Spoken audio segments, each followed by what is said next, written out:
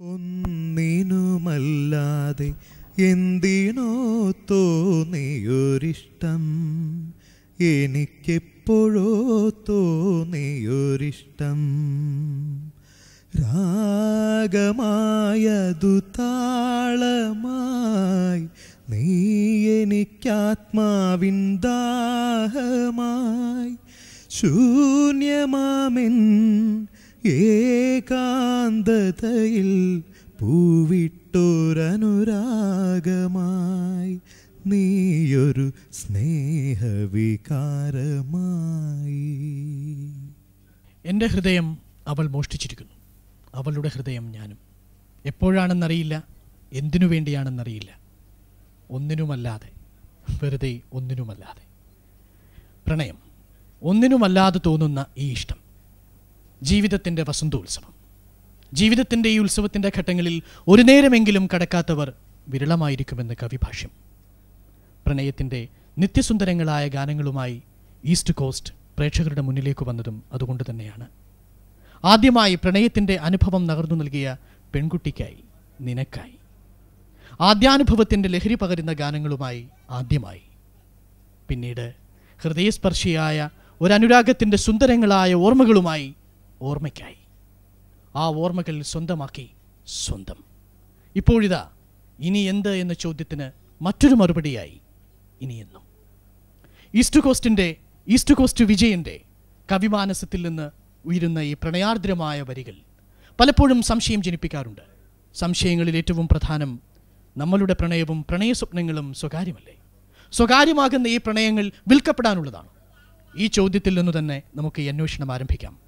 പ്രണയിക്കുന്നവർക്കായി പ്രണയിച്ചുകൊണ്ടിരിക്കുന്നവർക്കായി പ്രണയം ആഗ്രഹിക്കുന്നവർക്കായി പ്രണയിച്ചിട്ടുള്ളവർക്കായി ഞങ്ങൾ ഇന്ന് ഈ അന്വേഷണം സമർപ്പിക്കുന്നു. തുടക്കം വിജയനിൽ നിന്ന് തന്നെയാവാം. ശ്രീ വിജയൻ നമ്മളുടെ പ്രണയത്തെക്കുറിച്ച് പറയുമ്പോൾ ഏറ്റവും പ്രഥമമായി പറയുന്നത് സ്വകാര്യമായൊരു അനുഭവമാണ് പ്രണയം. ആ പ്രണയത്തെക്കുറിച്ചുള്ള സ്വപ്നങ്ങൾ വിൽക്കുന്നത് ശരിയാണോ?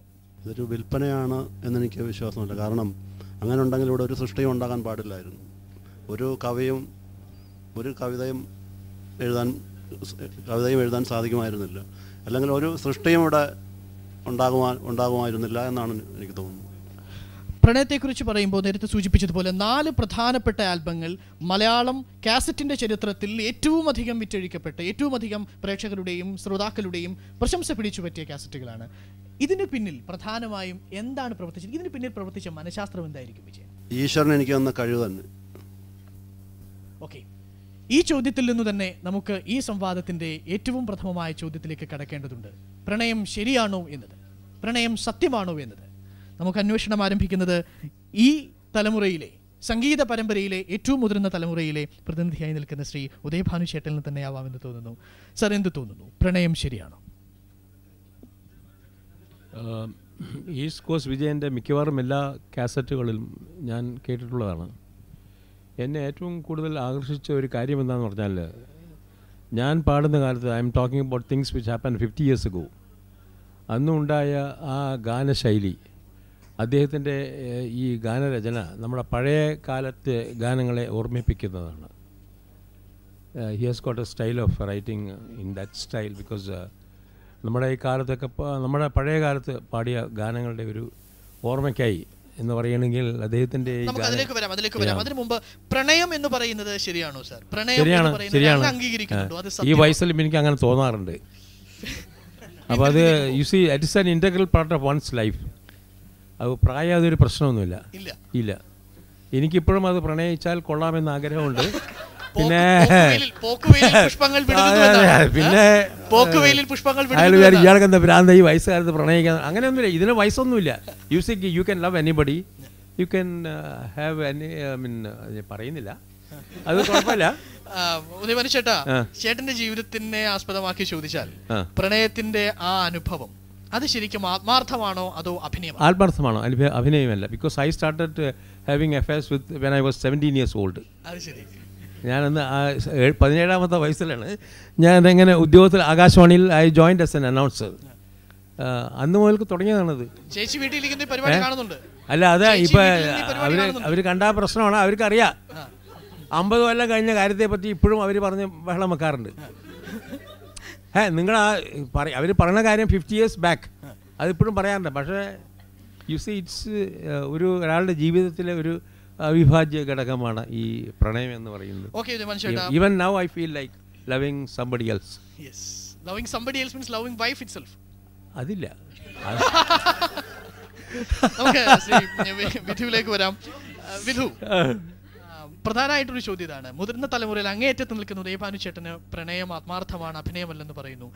എന്ത് തോന്നുന്നു ഈ ചുരുങ്ങിയ ജീവിതത്തിനിടയിൽ? അല്ലെങ്കിൽ പ്രണയിക്കേണ്ട സമയത്ത് നിൽക്കുന്ന എന്ത് തോന്നുന്നു? പ്രണയം പലപ്പോഴും അഭിനയമാണെന്ന് തോന്നാറില്ലേ?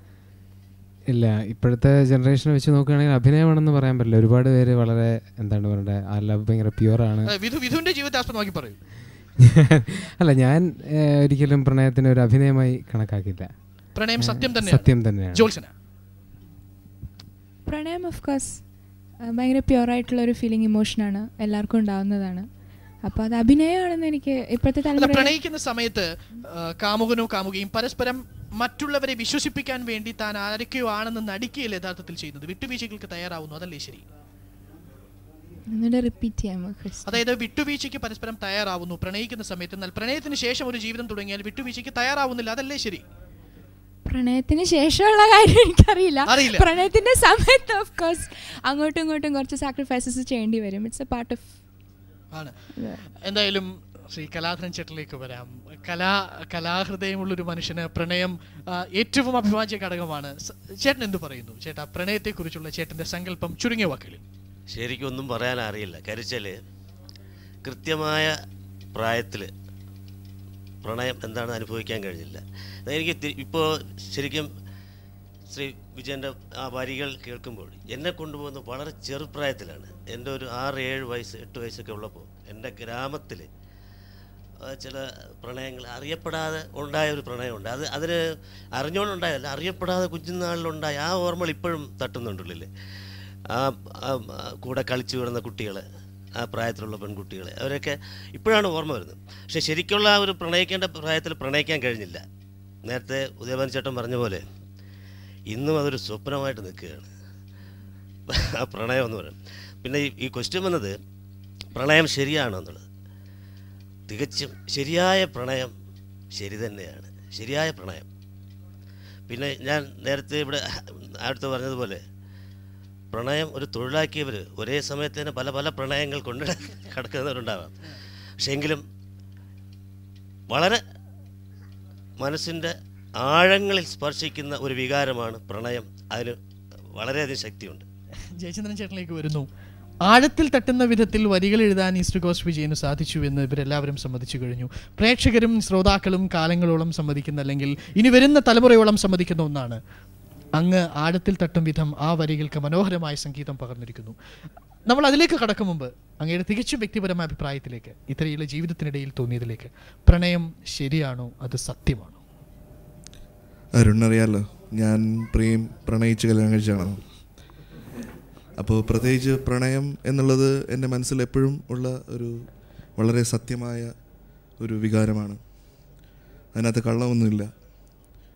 പരസ്പര വിശ്വാസവും പിന്നെ തമ്മിലുള്ള കമ്മ്യൂണിക്കേഷൻ അത് അങ്ങോട്ടും ഇങ്ങോട്ടും താങ്ങും തണലുമായി നിൽക്കുന്ന ഒരവസ്ഥയാണ് പ്രണയത്തിലുള്ളത്. എനിക്ക് തോന്നുന്നു. പ്രണയത്തിൽ നിലാവുണ്ട്. പ്രണയ അല്ലെങ്കിൽ പ്രണയിക്കുന്ന സമയത്ത് നിലാവും പിന്നെ പ്രണയമാധുര്യമൂറുന്ന കവിതകളും പ്രണയ സംഗീതവും പലപ്പോഴും ഇഷ്ടപ്പെട്ടുന്ന തലമുറയാണ്. സംഗീതത്തിന് പ്രണയവുമായി അടുത്ത ബന്ധമുണ്ടല്ലേ? വളരെയധികം മ്യൂസിക് യൂണിവേഴ്സൽ സംഗീതത്തിൽ ചിലപ്പോൾ വാക്കുകളില്ലെങ്കിൽ ഒരു ലാംഗ്വേജ് ഇല്ലെങ്കിൽ കൂടി ഇപ്പോൾ ലവ് സ്റ്റോറി എന്നുള്ള ഫിലിമിന്റെ അതിന്റെ തീം മ്യൂസിക് വളരെ പോപ്പുലറായ മ്യൂസിക്കാണ് ആ മ്യൂസിക് ജസ്റ്റ് പ്ലേ ചെയ്യുമ്പോൾ തന്നെ പ്രണയം അതിൽ ഓടിയെത്തുന്നു. അപ്പോൾ അങ്ങനെ സംഗീതത്തിലൂടെ ഒരു ലിറിക് ഇല്ലാതെ തന്നെ ഒരു ലാംഗ്വേജ് ഇല്ലാതെ തന്നെ സംഗീതത്തിൽ കൊണ്ട് കൊണ്ടുവരാൻ സാധിക്കും.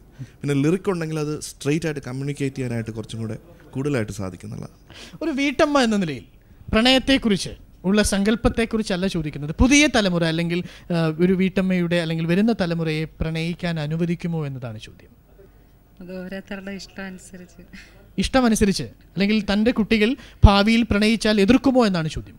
ഇല്ല അതൊക്കെ ഓരോരുത്തരുടെ ഇഷ്ടമാണ്. അവരവരുടെ ഇഷ്ടമാണ്. ആ ഇഷ്ടത്തിന് വേണ്ടി പൂർണമായി വിട്ടുകൊടുക്കും നമ്മൾ വിജയൻ ചേട്ടിലേക്ക് തിരിച്ചു വരാം. പല അഭിപ്രായങ്ങൾ കേട്ടു. ഈ വരികൾ എഴുതാൻ ആദ്യമായി നിനക്കായി ഓർമ്മയ്ക്കായി തുടങ്ങിയ ഈ ആൽബങ്ങളുടെ വരികൾ കുറിക്കാൻ മനസ്സിൽ ഏതെങ്കിലും രീതിയിൽ പ്രചോദനമായ ഏതെങ്കിലും സംഭവങ്ങളുണ്ടോ? നൂറ് ശതമാനവും. സ്വന്തം ജീവിതത്തിൽ നിന്നാണ് ആ വരികൾ? അതെ. എന്ത് തോന്നുന്നു? പ്രണയം സത്യമാണോ? തീർച്ചയായും. ഈ പ്രണയം എന്ന് പറയുന്നത് ഇതിൽ പരാമർശിക്കപ്പെട്ടിരിക്കുന്ന ഒരു പെണ്ണും ആണും തമ്മിലുള്ള പ്രണയമാണെങ്കിൽ പോലും ഈ പ്രണയം എന്ന് പറഞ്ഞാൽ വളരെ സത്യസന്ധവും ആത്മാർത്ഥവുമായ ഒരു ശക്തമായ വികാരം. നമുക്ക് എന്തിനോടുമാകാം അത്? നമ്മൾ ഏറ്റെടുക്കുന്ന ജോലിയോട്. ഈ പ്രണയം എന്ന് പറയുന്നതിന്റെ അർത്ഥം ഞാൻ ഉദ്ദേശിക്കുന്നത് അതാണ്. സ്നേഹത്തിന്റെ ഒരു വളരെ പ്രത്യേകമായ ഒരവസ്ഥ ആ പ്രണയത്തെ സത്യമാണോ അല്ലയോ ചോദിക്കേണ്ട പോലും കാര്യമല്ല. പ്രണയം എന്ന വാക്കിന്റെ അർത്ഥം എന്ന് പറയുന്നത് അത് പിന്നെ സത്യം ശക്തി പ്രേരണ പ്രചോദനം ഇതൊക്കെ ആണ് എന്നാണ് ഞാൻ വിശ്വസിക്കുന്നത്. കാരണം ഞാൻ പറഞ്ഞല്ലോ ഒരു ആണിന് പെണ്ണിനോടോ അല്ലെങ്കിൽ പെണ്ണിനോട് ആണിനോടോ മാത്രമല്ല ഈ പ്രണയം ഉണ്ടാകാവുന്നത്. ഓക്കെ വിജയനിലേക്ക് തിരിച്ചു വരാം. ടി പിയിലേക്ക് വരാം. മലയാള ചലച്ചിത്ര ഗാന നിരൂപകൻ എന്നതിലുപരിയായി ഗാനങ്ങളെ ആസ്വദിക്കുകയും ഗാനങ്ങളിലൂടെ പ്രണയത്തെ തിരിച്ചറിയുകയും ഒക്കെ ചെയ്ത് അങ്ങയുടെ വ്യക്തിപരമായ ചോദ്യം ചോദിച്ചുകൊണ്ട് തുടങ്ങാം. മലയാള ചലച്ചിത്ര ഗാനങ്ങളും ഈ പ്രണയ ആൽബങ്ങളും പ്രണയഭാവങ്ങൾക്ക് അല്ലെങ്കിൽ പ്രണയ പ്രണയസങ്കല്പങ്ങൾക്ക് മാറ്റുകൂട്ടാൻ ഉപയോഗിക്കുന്നില്ലേ ഉപകരിക്കുന്നില്ലേ? തീർച്ചയായും. ഉണ്ടായിട്ടുള്ള ഗാനങ്ങളിൽ ഭൂരിപക്ഷവും പ്രണയഗാനങ്ങളാണ്. അതിൽ നിന്ന് തന്നെ പ്രണയത്തിന് വളരെ പ്രാധാന്യമുണ്ട് എന്ന് നമുക്ക് മനസ്സിലാക്കാം. മാത്രമല്ല ഈ ഒരു വളരെ പ്രസിദ്ധമായ ഒരു ഇംഗ്ലീഷ് ചൊല്ലുണ്ട്. ചൊല്ലല്ല ഒരു പിന്നെ quoting sex theoretically is love sex practically is lust lust എന്ന് വെച്ചാൽ കാമം. അപ്പോൾ സെക്സ് തിയറിറ്റിക്കലാവുന്നതാണ് ലവ് സെക്സുമായിട്ട് ബന്ധപ്പെട്ട ഒരു വികാരമാണ് പ്രണയം. ലോകത്തെ ഒരുപക്ഷെ നിലനിർത്തുന്നത് തന്നെ പ്രണയമാണ്. ലോകസാഹിത്യം പരിശോധിച്ച ഏറ്റവും കൂടുതൽ ആൾക്കാർ ഏറ്റവും കവികളാകട്ടെ നോവലിസ്റ്റുകളാകട്ടെ കഥാകാരന്മാരാകട്ടെ ഗാനരചയിതാക്കളാകട്ടെ ഏറ്റവും കൂടുതൽ എഴുതിയിട്ടുള്ളത് പ്രണയത്തെക്കുറിച്ചാണ്. ഈ ഭാവഗീതമെന്നാണ് ചലച്ചിത്ര ഗാനത്തെ ആയിരുന്നാലും ലളിതഗാനത്തെ ആയിരുന്നാലും നമ്മൾ വിശേഷിപ്പിക്കുന്നത്. ലിറിക് എന്നാണ്. ആ ലിറിക് ഭാവഗീതം എന്ന് പറയുന്നത് പ്രണയവുമായി ബന്ധപ്പെട്ടതാണ്. ജേട്ടനിലേക്ക് തന്നെ തിരിച്ചു വരികയാണ്. ഇപ്പോൾ സെക്സിന്റെ കാര്യം പറഞ്ഞു പ്രണയത്തിന്റെ കാര്യം പറഞ്ഞു. ഈസ്റ്റ് കോസ്റ്റിന്റെ രണ്ടാമത്തെ സംരംഭമായ ആദ്യമായി എന്നതിൽ മനസ്സും ശരീരവും അറിയുന്ന നിമിഷങ്ങളിൽ പരസ്പരം അനുരാഗത്തിന് തീവ്രത കൂടുന്നു എന്ന് പറഞ്ഞു കേട്ടു. യഥാർത്ഥത്തിൽ പരസ്പരം പ്രണയിക്കുന്നവർക്ക് മനസ്സും ശരീരവും ഒന്നാകാനുള്ള ലൈസൻസ് കൊടുക്കാൻ നമുക്ക് പറ്റുമോ? മനസ്സ് ഒന്നാണെങ്കിൽ എന്തുകൊണ്ടായിക്കൂടാ എന്നുള്ളതാണ് എന്റെ ചോദ്യം.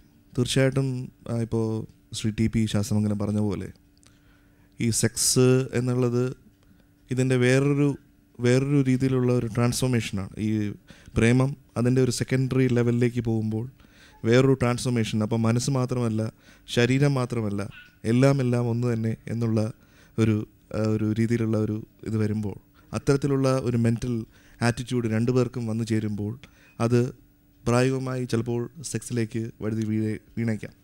പക്ഷേ അത് സെക്സിന് വേണ്ടി മാത്രമുള്ള ഒന്ന് ആവാതെ ഇരിക്കുമ്പോഴാണ് ആ പ്രണയം യഥാർത്ഥ പ്രണയം എന്ന് ആവുന്നതെന്ന് വിചാരിക്കും. ഉദയഭാനു ചേട്ടാ ഈ ഒരു സങ്കല്പം എത്രത്തോളം സത്യമാണ്? നമുക്ക് നമ്മുടെ സമൂഹത്തിലെ കുട്ടികളെ ഇത്തരം ഒരു ലൈസൻസിലേക്ക് വിടാനായിട്ട് നമുക്ക് പറ്റുമോ? അത് അത് സംഗീതത്തിന്റെ പേരിലായാലും രചനയുടെ പേരിലായാലും? കുഴപ്പമൊന്നുമില്ല. വിടണമെന്നാണ് ഞാൻ പറയുന്നത്. കാരണം അവരെല്ലാം അത് അറിഞ്ഞിരിക്കണം. ഇതിൽ മറക്കാനൊന്നുമില്ല you see sex is a part of our life ഈ വയസ്സിൽ എനിക്ക് അത് തോന്നുന്നുണ്ട്. അപ്പം അതുകൊണ്ട് ഇവരുടെ കാര്യം പറയേണ്ട കാര്യമില്ലല്ലോ. ചേട്ടനിലേക്ക് തിരിച്ചു വരാം. നമ്മൾ പോകുന്നത് വീണ്ടും ഒരു വീട്ടമ്മയുടെ അടുത്തേക്ക് തന്നെ പോകേണ്ടി വരുന്നു.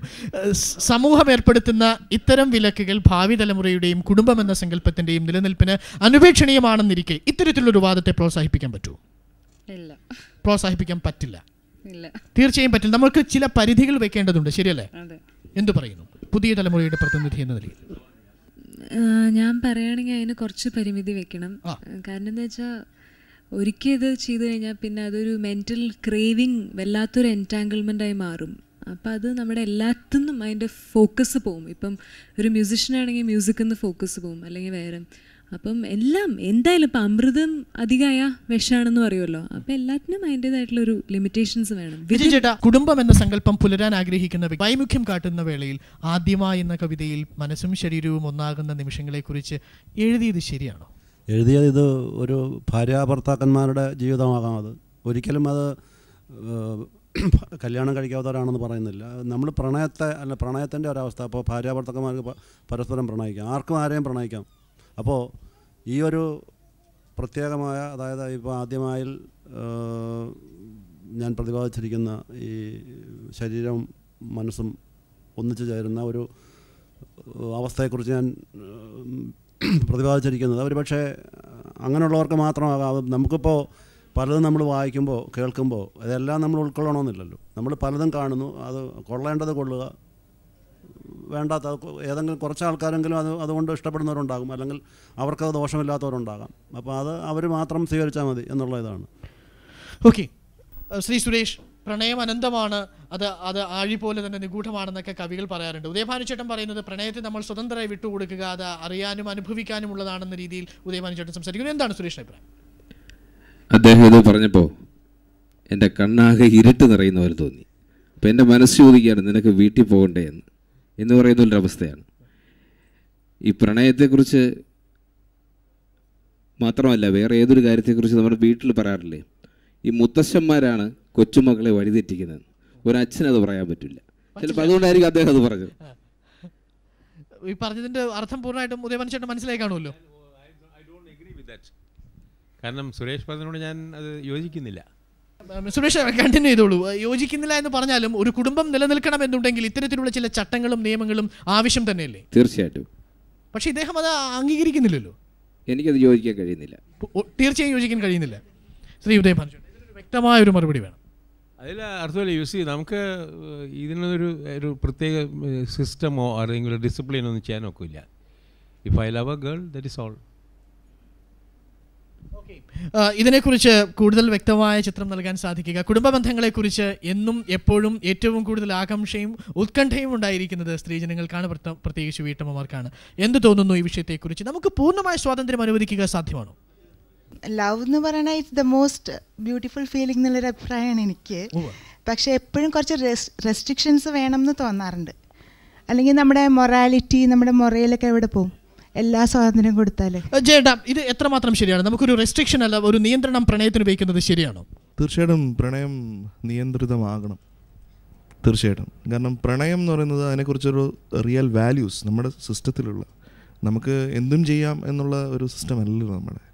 നമ്മളൊക്കെ മനുഷ്യരാണ്. മാനുഷികമായ മൂല്യങ്ങൾ കാത്തു സൂക്ഷിച്ചുകൊണ്ട് പ്രണയം ആകാം. പ്രണയത്തെക്കുറിച്ച് വ്യത്യസ്ത സങ്കല്പങ്ങൾ വരുമ്പോഴാണ് ഒരുപക്ഷെ വിജയന്റെ ആദ്യ കാസറ്റ് നിനക്കായി എന്നുള്ള കാസറ്റിന്റെ സത്യത്തെക്കുറിച്ചും അതിന്റെ യാഥാർത്ഥ്യത്തോട് ചേർന്ന് നിൽക്കുന്ന ഭാവത്തെക്കുറിച്ചും നമ്മൾ മനസ്സിലാക്കുന്നത്. നിനക്കായി എന്ന ആൽബത്തിലെ വളരെ ശ്രദ്ധേയമായ ഒരു ഗാനം നമുക്ക് ജയചന്ദ്രൻ ചേട്ടനോട് ഗാനം ആലപിക്കാൻ പറയാം.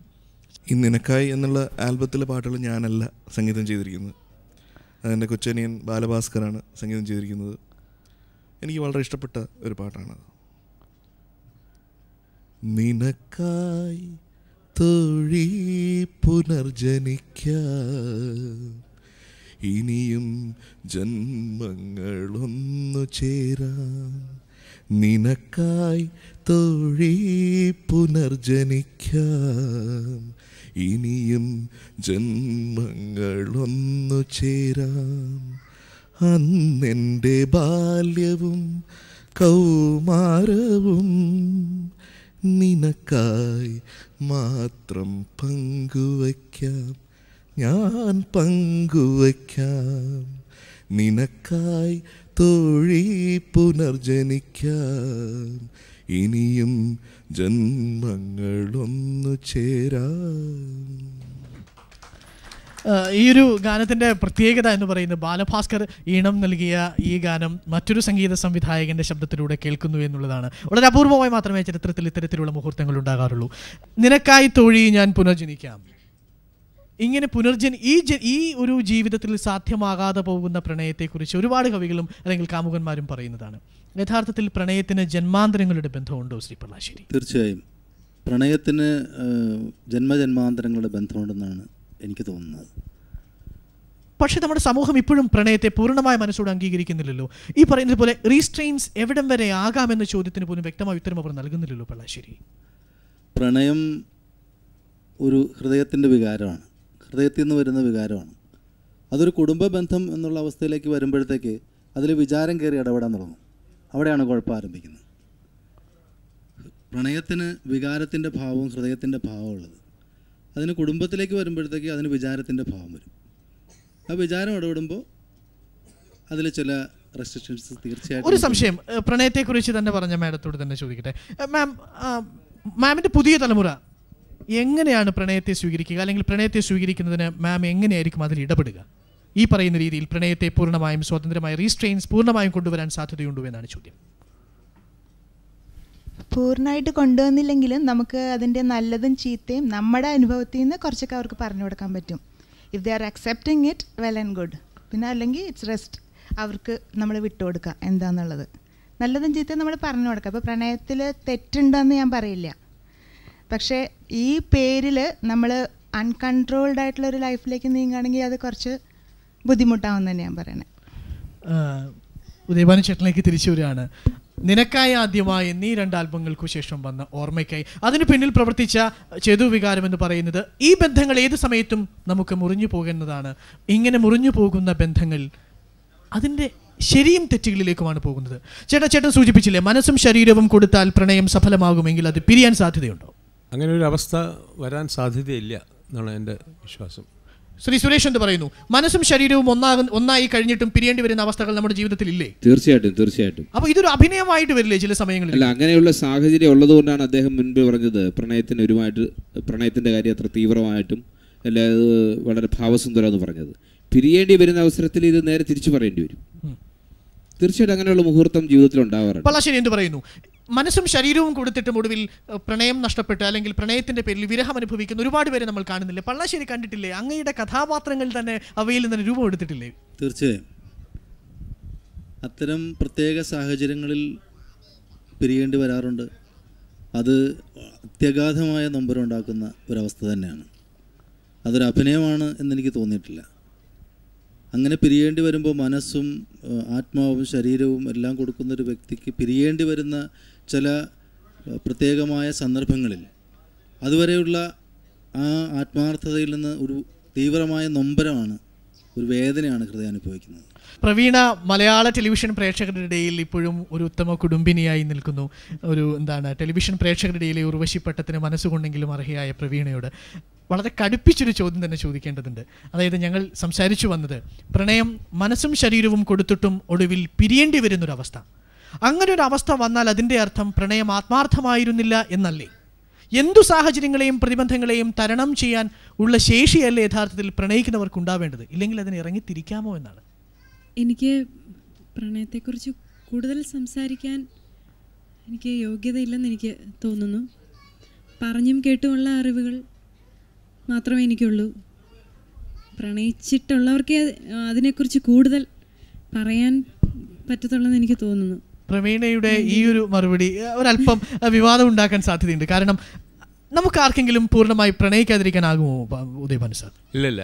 എപ്പോഴെങ്കിലും നമ്മൾ ആരെങ്കിലും പ്രണയിക്കില്ലേ? ആരെങ്കിലും പ്രണയിച്ചാലല്ല പിന്നെ അതിന്റെ വിവാഹത്തിൽ വരെ എത്തുന്നത് അങ്ങനെയാണല്ലോ. അതെ. അല്ല പ്രവീണയുടെ മറുപടിയെ കുറിച്ചാണ് ചോദ്യം. പ്രവീണ പ്രണയിച്ച് കാണുന്നതാണ് എന്റെ വിശ്വാസം. നമുക്ക് ശേഷമുള്ള പ്രശ്നങ്ങളിലേക്ക് പോകുന്നതിൽ ചില പ്രശ്നങ്ങളുള്ളതുകൊണ്ട് നമ്മൾ ചർച്ചയുടെ മറ്റൊരു ഘട്ടത്തിലേക്ക് പോകുന്നു. ഈ ഒരു തലമുറയിലെ ശ്രദ്ധേയനായ ശ്രീ ശരത്തിനോട് തന്നെ ചോദിക്കട്ടെ. ശരത് പ്രണയത്തെക്കുറിച്ചുള്ള സങ്കല്പങ്ങൾ ഒരുപാട് കേട്ടു. ആത്മാർത്ഥമായ ഒരു പ്രണയത്തിന് പിരിയാനാകുമോ? ഞാൻ പറയുകയാണെങ്കിൽ ചിലപ്പോൾ കുറച്ച് കൂടുതലായിട്ട് നിങ്ങൾക്ക് ഫീൽ ചെയ്യാം കുറച്ച് പേർക്ക്. പക്ഷേ സത്യമായ പ്രണയത്തിൽ വിശ്വസിക്കുന്ന ആളാണ്. അതുകൊണ്ട് തന്നെ ഈ കാത്തിരിക്കാൻ എനിക്ക് കുറച്ച് മോഹമുള്ള കൂട്ടത്തിലാണ് ഏ ഞാൻ ഇപ്പോൾ അച്ഛൻ എന്റെ അച്ഛൻ കഥകളി പാട്ടുകാരനാണ്. അപ്പോൾ പ്രത്യേകിച്ച് നളചരിതം എന്നെ വളരെയധികം ഫീൽ ചെയ്തൊരു കഥയാണ്. അപ്പോൾ അതിൽ ഈ പറഞ്ഞു കേട്ട അറിവ് കൊണ്ട് ഒരാളെ കാത്തിരിക്കുക. അതേപോലെ ഇപ്പം ഞാനൊരു എന്റെ ഉള്ളിലൊരു പ്രണയത്തിന് എന്റെ പ്രണയത്തിന് അർഹയായൊരു കുട്ടിയുണ്ട് എന്റെ ഉള്ളിൽ അതെവിടെയാണ്? ആ കുട്ടി എവിടെയായിരിക്കും? അതിനെ അങ്ങനെ പ്രണയിക്കാനാണ് എനിക്ക് താല്പര്യം. ഞാൻ പ്രണയത്തെ പ്രണയിക്കുന്നു. പ്രണയത്തെ പ്രണയിക്കുന്നു. പ്രണയത്തെ പ്രണയിക്കുന്നു. ശരത് ആ പ്രണയിക്കാൻ പോകുന്ന പെൺകുട്ടിക്ക് എന്ത് തരത്തിലുള്ള സ്വഭാവങ്ങൾ ഉണ്ടായിരിക്കണമെന്ന് അറിയില്ല. ഞാൻ പറയണ്ടേ. ഇപ്പോൾ ഇപ്പോൾ ഇവിടെ ഇരിക്കുന്ന കുട്ടികളുടെ പാട്ട് കേൾക്കുമ്പോൾ എനിക്കറിയാതെ ഇഷ്ടം തോന്നാറുണ്ട്. അതേപോലെ ഇപ്പോൾ നന്നായിട്ട് അഭിനയിക്കുന്ന കുട്ടികളെ കാണുമ്പോൾ എനിക്ക് പക്ഷേ അതൊന്നും അതൊക്കെ ഇഷ് ഇഷ് എന്താ പറയുക പ്രണയമായിട്ട് എനിക്ക് കടത്താൻ ഞാൻ ശ്രമിച്ചിട്ടില്ല. കാരണം എനിക്കറിയാം അതിലല്ല എനിക്കൊരാളുണ്ട്. വരുമായിരിക്കും. ഞാൻ അതിലാണ് കൂടുതൽ വിശ്വസിക്കുന്നത്. എന്നേക്കാൾ ഉപരി ഈശ്വരനില്ല ഞാൻ വിശ്വസിക്കുന്നത്. ഈ ഒരു കാര്യത്തിൽ. ഈ കാര്യത്തിൽ. അനൂപിലേക്ക് തിരിച്ചു വരുന്നു. അനൂപ് ഈ ഒരു സങ്കല്പം എന്താണ്? പ്രണയത്തെക്കുറിച്ചുള്ള അനൂപിന്റെ സങ്കല്പം എന്താണ്? ഞാനിപ്പോൾ ആകെ കൺഫ്യൂസ്ഡ് ആണ്. എന്താ അനൂപേ? കാര്യം എന്റെ കൂടെ പഴയ തലമുറയിൽ പെട്ടവർ മാത്രമേ ഉള്ളൂ. പുതിയ തലമുറയിലെ ശരത്തും ഗായത്രിയൊക്കെ വളരെ ഫിലോസഫിക്കലാണ് ശരത്ത് രക്ഷപ്പെടാൻ വേണ്ടി എന്തൊക്കെയോ പറഞ്ഞു. ഗായത്രി ആരാ പറഞ്ഞു? ആരാ പറഞ്ഞേ? ഹലോ. രക്ഷപ്പെടാൻ വേണ്ടിയിട്ടൊന്നുമല്ല എന്റെ ഉള്ളിലെ കാര്യം തന്നെയാണ് ഞാൻ പറഞ്ഞിട്ടുള്ളത്. ഞാൻ പറഞ്ഞില്ല എന്റെ എൻ- ഞാൻ വളർന്ന ബാക്ക്ഗ്രൗണ്ട് അതാണ്. എവിടെയോ ഒരു പെൺകുട്ടി. എവിടെ ഒരു പെൺകുട്ടി ഇരിക്കണമെന്നല്ല. ഉഗാണ്ടയിൽ. അതായത് അല്ല അത് നിങ്ങളുടെ കുട്ടിയായിരിക്കും. ഉഗാണ്ടിലും ആഫ്രിക്കയിലൊക്കെ മുഖം കണ്ടാൽ അതുപോലെ ഇരിക്കും. പക്ഷെ അതല്ല ഞാൻ ഉദ്ദേശിച്ചത്. എവിടെ ഞാൻ പറയട്ടെ നല്ലൊരു കലാകാരനാണെങ്കിൽ ആത്മാർത്ഥമായ ഒരു എന്താ. വക്കീലന്മാരുടെ ഭാഷ സംസാരിക്കില്ല. വക്കീലന്മാർ നിങ്ങൾ എൽ എൽ ബി ഒക്കെ സമ്മതിച്ചു. വക്കീലന്മാരുടെ ഭാഷ സംസാരിക്കും ഞാൻ എന്റെ ഉള്ളിലെ കലാ അതായത് എനിക്ക് വളർന്നു വന്ന ഒരു സാഹചര്യമുണ്ട്. അപ്പൊ അച്ഛന്റെ ഞാൻ എന്റെ അച്ഛൻ പാടിയ പാട്ടുകൾ കേട്ടിട്ടുണ്ട്. ലവ് സോങ്സ് തന്നെ കഥകളിലുള്ള. അപ്പൊ അതൊക്കെ കേൾക്കുമ്പോൾ എന്റെ ഉള്ളിൽ ഒരു തന്നെ ഞാൻ പറയട്ടെ പ്യൂരിറ്റി മനസ്സിലെ ശരത്തിന്റെ മനസ്സിലെ പെൺകുട്ടി ദമയന്തി ആയിരിക്കും അല്ലേ? അതെ അതെ അതെ. കൊച്ചാക്കല്ലേ സുഹൃത്തെ. വിട് വിട് വിട്. ഞാൻ പറഞ്ഞ അതിൽ അതിന്റെതായിട്ടുള്ള നന്മയോടുകൂടി എടുക്കുക. ആ, അതെ. ഇപ്പൊ അദ്ദേഹം ചോദിച്ചത് താങ്കളോട് ആ ഒരു ക്വസ്റ്റ്യൻ മാത്രം കൊല്ലല്ലേ കൊല്ലല്ലേ കൊല്ലല്ലേ. അല്ല അനൂപൻ നിലവിൽ അനൂപൻ ഇത്തരത്തിലുള്ള ഏതെങ്കിലും ദമയന്തിമാരെ അറിയാമോ? അല്ല എനിക്ക് ഞാൻ ഉഗാണ്ടയിലുള്ള ദമയന്തി അറിയാം. എനിക്ക് ശരത്തിന് എവിടെയോ കിടക്കുകയാണ് ചോദിക്കട്ടെ. അനൂപ് പ്രണയിച്ചിട്ടുണ്ടോ? ഞാൻ പ്രണയിച്ചിട്ടുണ്ട്. ഇപ്പോൾ പ്രണയിക്കുന്നുണ്ടോ? ഇല്ല പ്രണയിക്കുന്നില്ല. പ്രണയം എന്ന് പറയുന്നത് മനസ്സിലുണ്ടാവുന്ന ഒരു വികാരമാണ്. അത് ആരോട് എപ്പോൾ തോന്നുന്നു എന്ന് പറയാറില്ല. അത് ഇപ്പോഴത്തെ ചില ജനറേഷൻ ക്രഷ് എന്നും പറയാറുണ്ട്. അപ്പോൾ നമുക്ക് ആരെ വേണമെങ്കിലും എങ്ങനെ വേണമെങ്കിലും നിശബ്ദമായി പ്രേമിക്കാം. ആരും അറിയാതിരുന്നാൽ മതി. ആ പ്രണയം ഞാൻ സൂക്ഷിക്കാറുണ്ട്. അല്ല അനൂപ് ഇപ്പൊ പറഞ്ഞല്ലോ പ്രണയം ആരോട് എപ്പോൾ എങ്ങനെ തോന്നുന്നു? പക്ഷേ ആരോട് എപ്പോൾ ഒരിക്കൽ മാത്രം തോന്നുന്ന വികാരമല്ലേ പ്രണയം? അത് എപ്പോഴും എല്ലാവരോടും തോന്നാറുണ്ടോ? അല്ല ചില അത് അതിൽ ഞാൻ ശരത്തിന്റെ കൂടെ നിൽക്കുന്നുണ്ട്. കാര്യം ചിലപ്പോൾ നമ്മൾ നമ്മുടെ മനസ്സിന് തോന്നുന്ന ഏതെങ്കിലും ഒരു സാധനവുമായി റിലേറ്റ് ചെയ്താൽ ചിലപ്പോൾ നമുക്ക് അവരോട് പ്രണയം തോന്നാം. അപ്പൊ അനൂപിന്റെ ആദ്യ പ്രണയം അവസാനിച്ചത് എങ്ങനെയാണ്? ആദ്യ പ്രണയം അടിയിലായിരിക്കും. ആദ്യ പ്രേമം അവസാന പ്രേമമൊന്നുമില്ല. ഞാൻ ഈ സ്റ്റൂസ് വിജയൻ സാറിന്റെ അതേ മനസ്സോടുകൂടി നിൽക്കുകയാണ്. സാർ ഇപ്പോഴും പ്രണയിച്ചുകൊണ്ടിരിക്കുകയാണ്. ഞാനും പ്രണയിച്ചുകൊണ്ടിരിക്കുകയാണ്. വിജയൻ വിജയൻ ചേട്ടനിലേക്ക് വരാം. ഈ ഒരു ചർച്ചയുടെ ഒരു പ്രധാനപ്പെട്ട ഭാഗം എന്ന് പറയുന്നത് ഇതാണ് ആത്മാർത്ഥമായ പ്രണയമാണെങ്കിൽ അവയ്ക്ക് പിരിയാനാവില്ല എന്നൊരു വിഭാഗം പറയുന്നു. ആത്മാർത്ഥമായ പ്രണയമാണെങ്കിൽ പക്ഷേ പിരിയേണ്ടി വരുന്ന സാഹചര്യം എന്നാൽ പിരിയേണ്ടി വരുമെന്ന് പറയുന്നു. എവിടെ നിൽക്കുന്നു വിജയൻ ചേട്ടൻ? തീർച്ചയായും പിരിയേണ്ടി വരും കാരണം മനുഷ്യനൊരു സാമൂഹ്യ ജീവിയാണ് ഈ സമൂഹത്തെ നമ്മൾ പല രീതിയിലും ഭയക്കണം അല്ലെങ്കിൽ ബഹുമാനിക്കണം. നമ്മുടെ ഒരു പ്രവൃത്തി കൊണ്ട് കഴിയുന്നത്ര മറ്റാർക്കെങ്കിലും ദോഷം വരാതിരിക്കാൻ കഴിയുമെങ്കിൽ നമ്മൾ അതിനുവേണ്ടി ശ്രമിക്കണം. അതിനുവേണ്ടി ഒരുപക്ഷെ നമ്മൾ ത്യാഗം സഹിക്കേണ്ടി വരും. ആ ഒരവസ്ഥയിലൊക്കെ ചിലപ്പോൾ നമ്മൾ ഈ മനസ്സുകൊണ്ടും ശരീരം കൊണ്ടും നമുക്ക് എല്ലാമായിരുന്ന ഒരു ബന്ധത്തെ നമുക്ക് ശക്തിയായി പ്രേരണയായി നമ്മുടെ നമ്മോടൊപ്പം ഉണ്ടായിരുന്ന ശക്തി എന്ത് എന്തിനേയും നമുക്ക് ത്യജിക്കേണ്ടി വരും. അതിന്റെ കാരണമെന്ന് പറയുന്നത് നമ്മുടെ ഒരു ഈ സമൂഹത്തിലെ ചില മൂല്യങ്ങൾക്ക് നമ്മൾ വില കൽപ്പിക്കുന്നതുകൊണ്ടാണ്. തീർച്ചയായിട്ടും അത് ശ്രീ ശ്രീ വിജയന്റെ ഈ സങ്കല്പത്തിൽ നിന്നാണ് ഓർമ്മയ്ക്കായി എന്ന ആൽബത്തിന്റെ വരികൾ ഉണ്ടാവുന്നതും. അതെ അത് തന്നെയാണ് അതിനകത്ത് അതായത് ഇപ്പോൾ പരസ്പരം ഒരിക്കലും അകലാൻ ആഗ്രഹിച്ചിരുന്നില്ലെങ്കിൽ പോലും അകലാൻ വിധിക്കപ്പെട്ട രണ്ട് പേരെയാണ് അതിനകത്ത് നമ്മൾ പരാമർശിച്ചിരിക്കുന്നത്. അത് അവരുടേതല്ലാത്ത തെറ്റിനു വേണ്ടി അവർ സ്വയം ജീവിതം ത്യജിച്ചു എന്നുള്ളതാണ് എന്റെ ഒരു ഓർമ്മയ്ക്കായി എന്ന ആൽബത്തിന്റെ ശ്രദ്ധേയമായ വരികൾക്ക് പിന്നിൽ പ്രവർത്തിച്ച വികാരം. ആ തത്വചിന്ത എന്ന് പറയുന്നത് തിരിഞ്ഞേ നീ ചിരിക്കേണം പിരിഞ്ഞേ ഞാൻ പോകും നേരം പ്രണയം നമുക്കൊരു തീക്കനൽ സമ്മാനിക്കും. ഇങ്ങനെ തീക്കനൽ സമ്മാനിക്കുന്ന ഈ പ്രണയത്തിനു ശേഷം പിന്നീട് ജീവിതത്തിൽ ഒരു പ്രണയം ഉണ്ടാകാനുള്ള സാധ്യത എത്രത്തോളമുണ്ട്? ഈസ്റ്റ് കോസ്റ്റിന്റെ സ്വന്തം എന്ന ആൽബം പറയുന്നത് അതിനുള്ള സാധ്യത നൂറ് ശതമാനം എന്നാണ്. ഓർമ്മയ്ക്കായി എന്ന ആൽബത്തിന്റെ ശ്രദ്ധേയമായ വരികൾക്ക് പിന്നിൽ പ്രവർത്തിച്ച വികാരം ആ തത്വചിന്ത എന്ന് പറയുന്നത് തിരിഞ്ഞേ നീ ചിരിക്കേണം പിരിഞ്ഞേ ഞാൻ പോകും നേരം പ്രണയം നമുക്കൊരു തീക്കനൽ സമ്മാനിക്കും. ഇങ്ങനെ തീക്കനൽ സമ്മാനിക്കുന്ന ഈ പ്രണയത്തിനു ശേഷം പിന്നീട് ജീവിതത്തിൽ ഒരു പ്രണയം ഉണ്ടാകാനുള്ള സാധ്യത എത്രത്തോളമുണ്ട്? ഈസ്റ്റ് കോസ്റ്റിന്റെ സ്വന്തം എന്ന ആൽബം പറയുന്നത് അതിനുള്ള സാധ്യത നൂറ് ശതമാനം എന്നാണ്. അങ്ങനെയാണെങ്കിൽ ഏറ്റവും വിവാദത്തിലേക്ക് നമ്മൾ കിടക്കുന്നത് ഈ മുഹൂർത്തത്തിലാണ്. ഒരു പ്രണയം പരാജയപ്പെട്ടാൽ യാതൊരു ബോധ വ്യത്യാസങ്ങളുമില്ലാതെ മറ്റൊരു പ്രണയത്തിലേക്ക് എത്ര പെട്ടെന്ന് നമുക്ക് കടന്നു ചെല്ലാൻ സാധിക്കുന്നു? അപ്പോൾ ആദ്യ പ്രണയം യാഥാർത്ഥ്യമായിരുന്നു ആത്മാർത്ഥമുള്ളതായിരുന്നു എന്നതാണ് ചോദ്യം. ഉദയഭാനു ചേട്ടാ എന്ത് പറയുന്നു? അത്ര പെട്ടെന്ന് ആവില്ല എന്നാണ് എന്റെ വിശ്വാസം. It will take some time Shri Suresh. സൗകര്യം കിട്ടുമ്പോഴൊക്കെ പ്രണയിക്കുക. പിന്നെ വേണ്ടെന്ന് വയ്ക്കുക വീണ്ടും പ്രണയിക്കുക. അവിടെയാണ് നമ്മുടെ ഒരു വിയോജിപ്പുള്ളത്. കുറച്ച് മുമ്പ് അദ്ദേഹം പറഞ്ഞൊരു കാര്യം അത് തന്നെയാണ്. അതങ്ങനെ പ്രണയിച്ചുകൊണ്ടിരിക്കാൻ പറഞ്ഞ് ഞാൻ അങ്ങനെ പ്രണയിച്ചുകൊണ്ടിരിക്കാൻ പറ്റൂ. പ്രണയം ഒന്നേ ഉള്ളൂ. സത്യമായിട്ടുള്ളൊരു പ്രണയം. ശ്രീ പള്ളാശ്ശേരി ഇതിൽ വിശ്വസിക്കുന്നുള്ളൂ. പ്രണയം ഒന്നു മാത്രമേ ഉള്ളൂ. ഒരു പ്രണയം പരാജയപ്പെട്ടാൽ മറ്റൊരു പ്രണയം ഉണ്ടാവുക സ്വാഭാവികമല്ലേ? ഉണ്ടാകാം.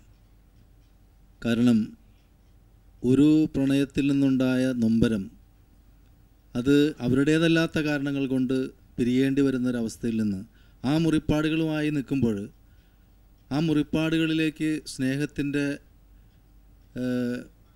ഒരു സ്നേഹത്തിന്റെ നൈർമല്യമായി വേറൊരാൾ ആ മുറിവുകൾ ഉണക്കാൻ വേണ്ടി വരുമ്പോൾ നമുക്ക് തീർച്ചയായിട്ടും അതിനൊരു സാന്ത്വനം എന്ന പോലെ നമുക്ക് വീണ്ടും ഒരു പ്രണയം ഉണ്ടാകാം. ഗായത്രി എന്ത് പറയുന്നു? പ്രണയം എന്ന് പറയുന്നത് ഈ ഒരു അവസരത്തിൽ പ്രധാനമായിട്ടുള്ള പ്രശ്നം.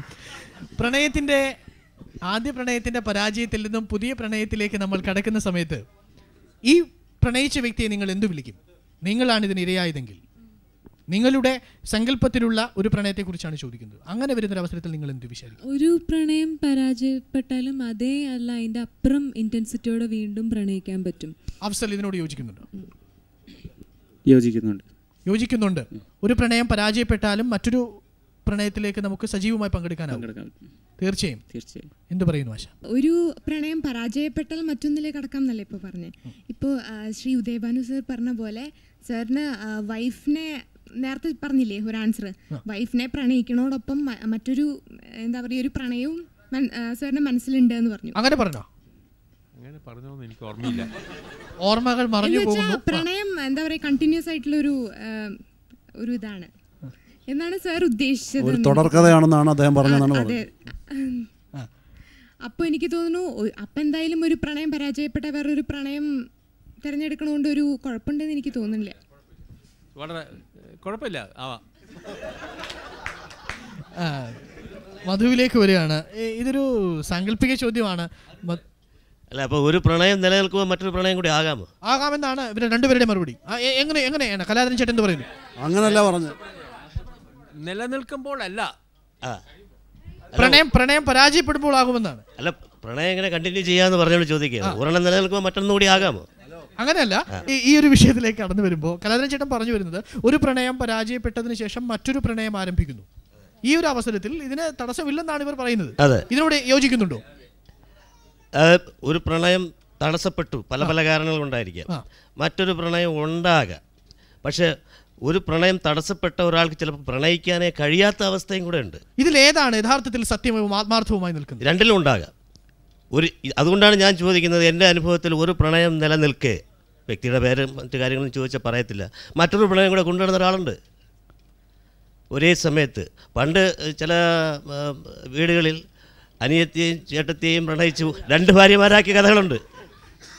അതെല്ലാം പ്രണയം തന്നെയാണ്. നമ്മൾ പറയുകയാണെങ്കിൽ. അപ്പോൾ പ്രണയത്തിന്റെ ഒരു ഒരു ലെവൽ എന്തായി? അതിനൊരു വ്യാഖ്യാനം ഇവിടെ കിടക്കും നമ്മുടെ ഈ കാഴ്ചപ്പാടുള്ളത് ആ ഒരു പ്രണയമല്ല. നമുക്ക് ശക്തിയായി പ്രേരണയായി നമ്മോടൊത്തുള്ള ഒരു വികാരം. അതിന് നമ്മളെ സ്വാധീനിക്കുന്ന ശക്തി. അതാണ് പ്രണയം എന്ന് ഞാൻ അർത്ഥമാക്കിയിരിക്കുന്ന എന്റെ ഈ വരികളിൽ ഞാൻ പ്രതിപാദിച്ചിട്ടുള്ളത്. അല്ലാതെ നമ്മളിപ്പോൾ നമ്മ ഇപ്പോൾ ഒരു അനിയ അനിയത്തെയും ചേട്ടത്തെയും വിവാഹം കഴിക്കുമെന്ന് പറയുന്ന ഒരു വെറും വ്യക്തിപരമായ അവരുടെ ആവശ്യങ്ങൾക്ക് അവിടെയും പ്രണയമില്ലേ? അതിലാണ്. അവിടെയും പ്രണയമില്ലേ? ആ അതിന് പ്രണയം എന്ന് ഞാൻ ഉദ്ദേശിക്കുന്ന പ്രണയം നമുക്ക് പ്രേരണയായി പ്രചോദനമായി ശക്തിയായി. വിജയൻ സാർ വിജയൻ സാർ കണ്ട പ്രണയമല്ല ഇപ്പം പൊതുവായിട്ട് പ്രണയത്തെക്കുറിച്ച് സംസാരിച്ചപ്പോൾ വന്ന ആ ഒരു തലം ഒരു ഒന്നിൽ നിന്നും മറ്റൊന്നിലേക്ക് പ്രണയം കൊണ്ടുപോകാൻ സാധിക്കുന്നു എന്നൊരവസ്ഥ വന്നു. അതെന്തുകൊണ്ട്?